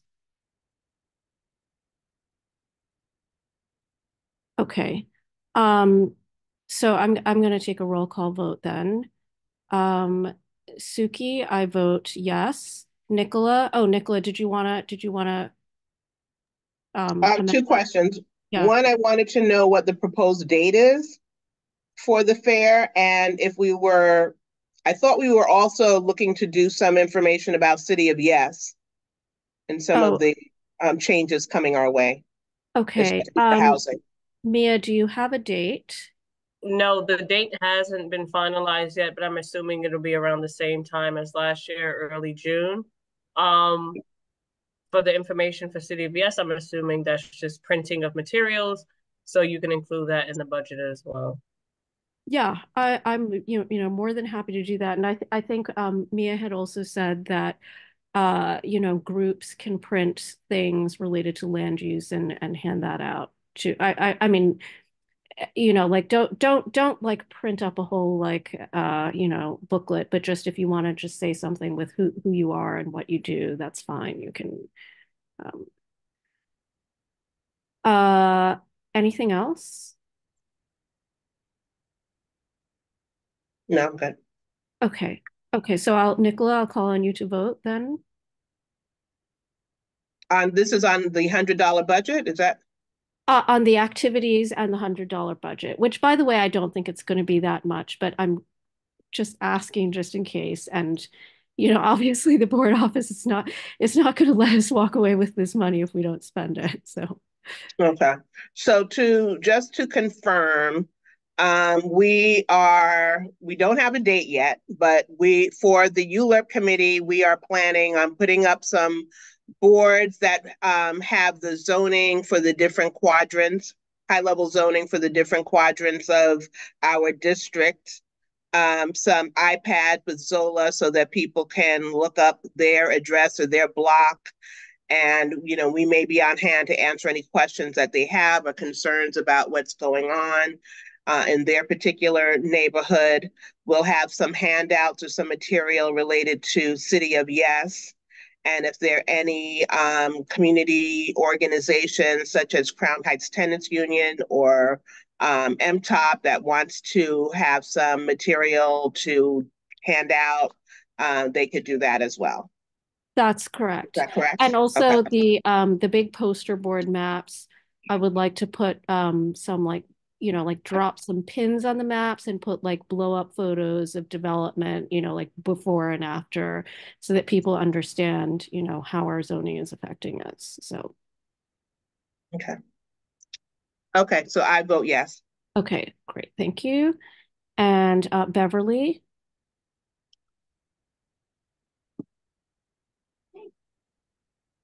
I vote yes as well. okay, thank you. Um Esteban, Yes. John, Yes. thank you. Um Tom, Yes. Okay, thank you. All right, so um, we voted on that. Good. Um, and it's almost nine o'clock. Um, does anyone have anything else they want to bring up? Very happy to talk about anything land use related that's a concern um, in your part of the community or um, anything. Alicia. Um, I wanted to respond to, because you didn't give me an opportunity to respond to the, the idea of a vision for um, Empire. As far as I know, because you do have an R6, I think that the commercial corridors on Empire should be left intact. The C8 should not be broken so that there is no possibility of further rezonings on that corridor. Um, Professor Angotti had stated in his presentation when he was conducting the survey and the study on Empire, stated that as long as you give developers the option to develop either commercial or residential, they're going to go for residential and they're not going to develop commercial. But once you put a firm position that they cannot do housing on Empire, they will do creative um, proposals and will do commercial development. And we've seen that already on Empire Boulevard. So um, there is the, the, the residential portion on the back that there's a possibility that, you know, that we, you know, to get some affordable housing, that might be something, but I think that we should adamantly state that the developer cannot use the back portion of his property to then justify the breaking of the C8 and then increasing it with residential and, and turning basically that entire boulevard into a very different boulevard than what it is, especially as a private applicant. Thank okay. you. Thank you, Alicia. Michael? Yeah, thanks, Suki. Uh, you said if we wanted to let you know about anything happening in the community, um, I just wanted to let people know that at 285 Eastern Parkway, um, there is a building, uh, rent stabilized building, 16 units. Um, three are currently occupied, um, in which the landlord is trying to demolish it. He's trying to actually demolish two buildings, 285, 291, um, and obviously to build luxury um, housing. So, you know, there are some of us in the community that are fighting against that. Um, you know, we obviously want to stop it because we feel like if it happens, it'll be it'll set a trend, and we don't want them to start demolishing or give landlords incentives to demolish buildings. So I just thought that people might want to know about that. Michael, thank you. That's important. Um, do you know what's the stated reason given for the demolition? Is it the condition of the building, or is it just that he has enough extra building rights to build something much bigger.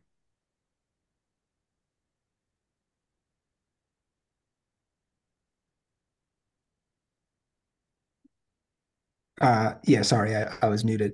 Um, yeah, the reason is basically um, he has the money to do it.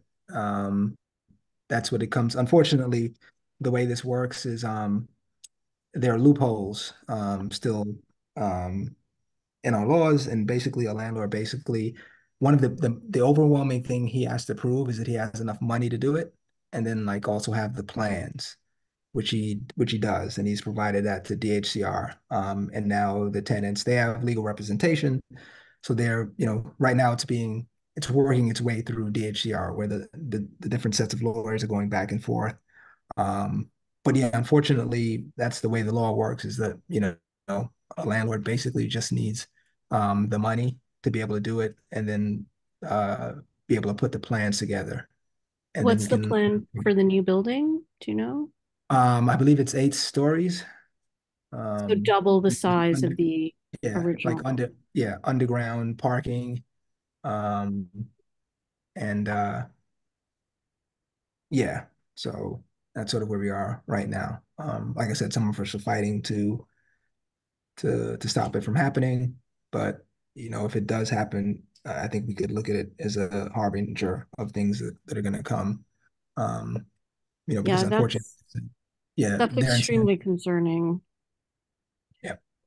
Um, and and um, you know, I, Esteban has talked about this before, but City of Yes would absolutely worsen these problems um, because they're going to give more building rights in every district. Um, you know, I think I, I think that part of Eastern Parkway, if I'm not mistaken, is an R6A. So they would go up by 30%, you know, more for that developer. um, it's not going to make it easier to to fight this.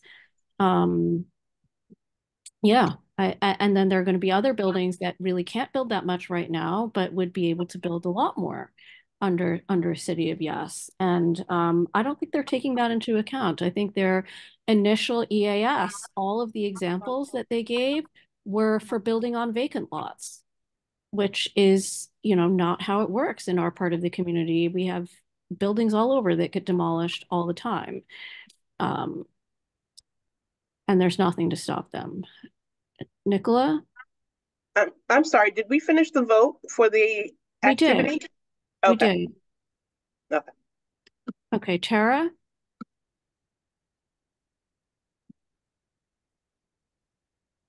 Tara? I'm unmuted now. Um, two things. Felice is on the phone. Um, she has been trying to talk for quite some time, and um, I think she. I don't know whether to. She needs to star six not star six or star nine or or how exactly that works. Um, but she's been on the phone trying to raise her hand and talk. Um, the other thing is that Esteban is making some really interesting comments in the um in the chat. regarding um the displacement MIH displaced um developers are asking us to make an exception to existing law. They don't have the right to rezoning. Also race as it relates to rezoning is not a fringe idea. There is a legally mandated racial impact study now is part of the ULURP process. A whole law in response to specifically race-related negative impacts. Objectively speaking, MIH-based rezonings displace primarily Black and Brown tenants. We can and should be talking about race anytime we talk about zoning and displacement. So I think that's important. And I don't know what Felice has to say, but she should we should recognize the the people on the phone and make sure they get a chance. Thank you. Thank you, Tara. So I I see the phone number. Um, Felice, did you want to speak? I don't think she knows. What do you press? I don't know. Star nine, star six. What is it? I do not remember. Mia? Star six, I believe. I think she's struggling. I think it's star six to un to mute and unmute and star nine to raise your hand. But if she's automatically unmuted, muted, how could she unmute herself? Can phone people even talk to us? Oh, she's on. Oh, okay. Um, this is uh, it's amazing how um, things are unfolding. Um, everyone has valid points, and um, yes, we have to be mindful of uh, what's taking place here because we live here. Um, I was practically raised here myself. My parents, I took over their apartment, which was affordable for me. So um, I do know the fabric and the makeup of the community.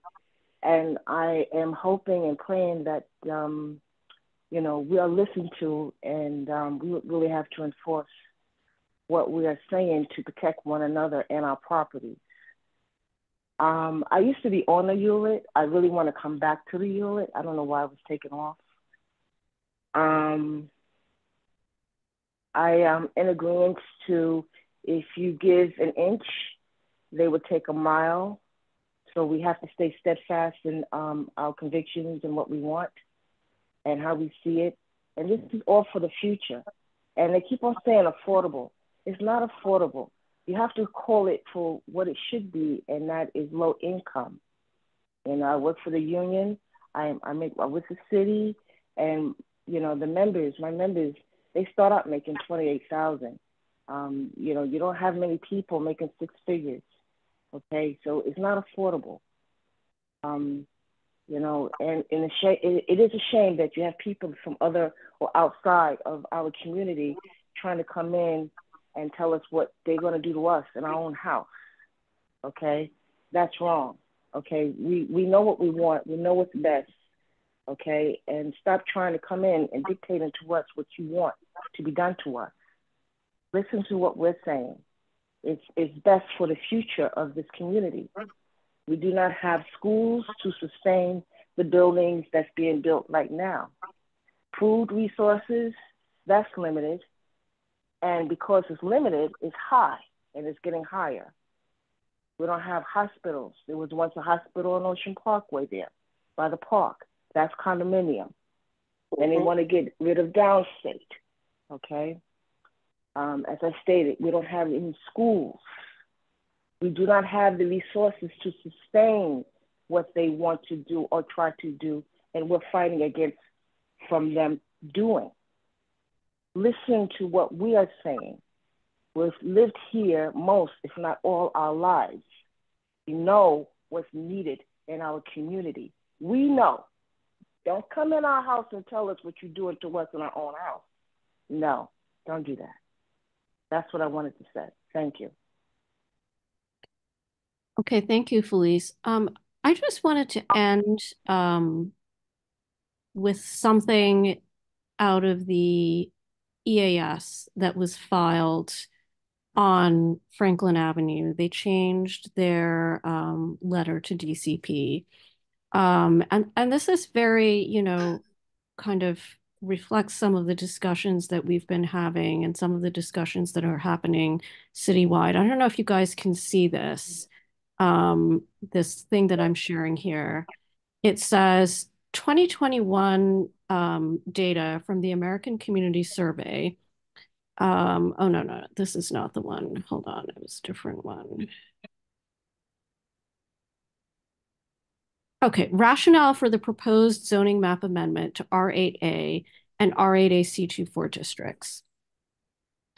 It says the existing R6A zoning is the product of the 1991 area-wide rezoning and was designed to reflect the then existing built environment.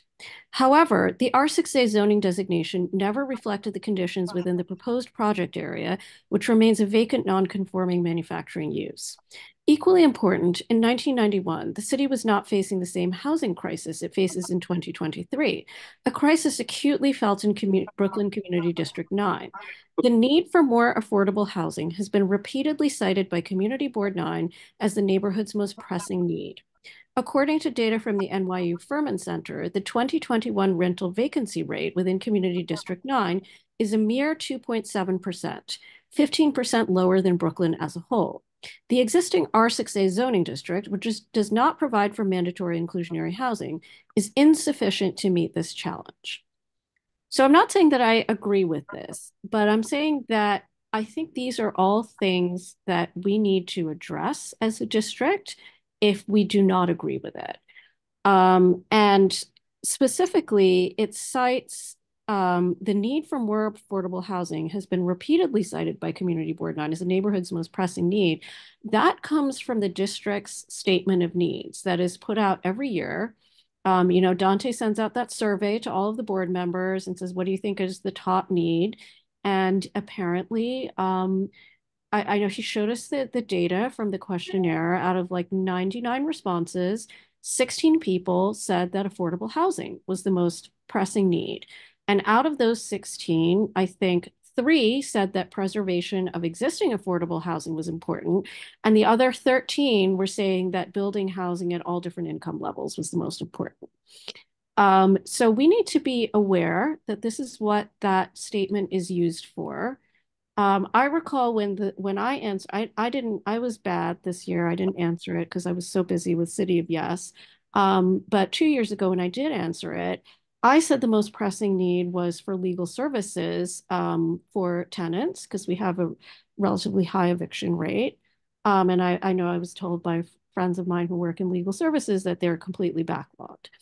Um, I also said there is a pressing need for downzoning and preservation um, because we're we're hearing a lot of complaints about demolition and how it affects people's homes and and so on. Um, and uh, so, so these are things to think about, you know, when you answer the survey. Does the survey reflect um, what the majority of us are are thinking and feeling um, about housing and about development in our in our district? Um, you know, it also talks about the vacancy rate. Um, you know, they they cite 2021 data and um, you know, is this is this reflective of what's going on in our community? I know a lot of you talk, are talking about rent stabilized tenants being pushed out in various ways, um, apartments that are being held vacant. Um, so, you know, do, do we want to put together a document that that reflects, um, you know, I know the housing committee is working on a resolution about housing. Um, do we want to maybe add something, some specific things to that, specific to things like um, vacancies, um, the need for affordable housing, what what we mean by that, et cetera. Um, you know, it's it's nine o'clock, so I'm just going to put that out there for you to think about. Nicola? Okay, my internet's acting up. Yes, I remember where I think the community boards fact, fact reinforce the fact that when we um, affordable housing as part of our community needs, it as upzoning, that we want upzoning in our neighborhood. So I agree with you, Suki. I think that we um, we need to educate ourselves and educate our community are used. So I think what most people are talking about is really again maintaining the affordability neighborhood uh, possible. It's the same HPD. Upzoning does not automatically result in affordable. Then turn around and get HPD and other programs to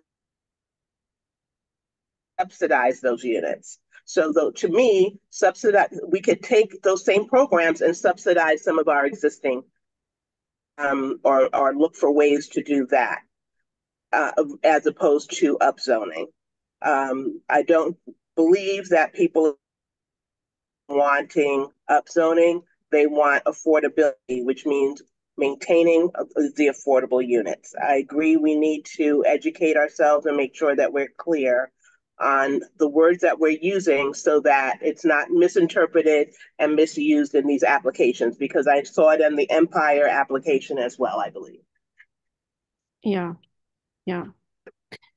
Um, okay. All right. So it's 9:15. Um, I'll take a motion to adjourn if no one has else has anything to add.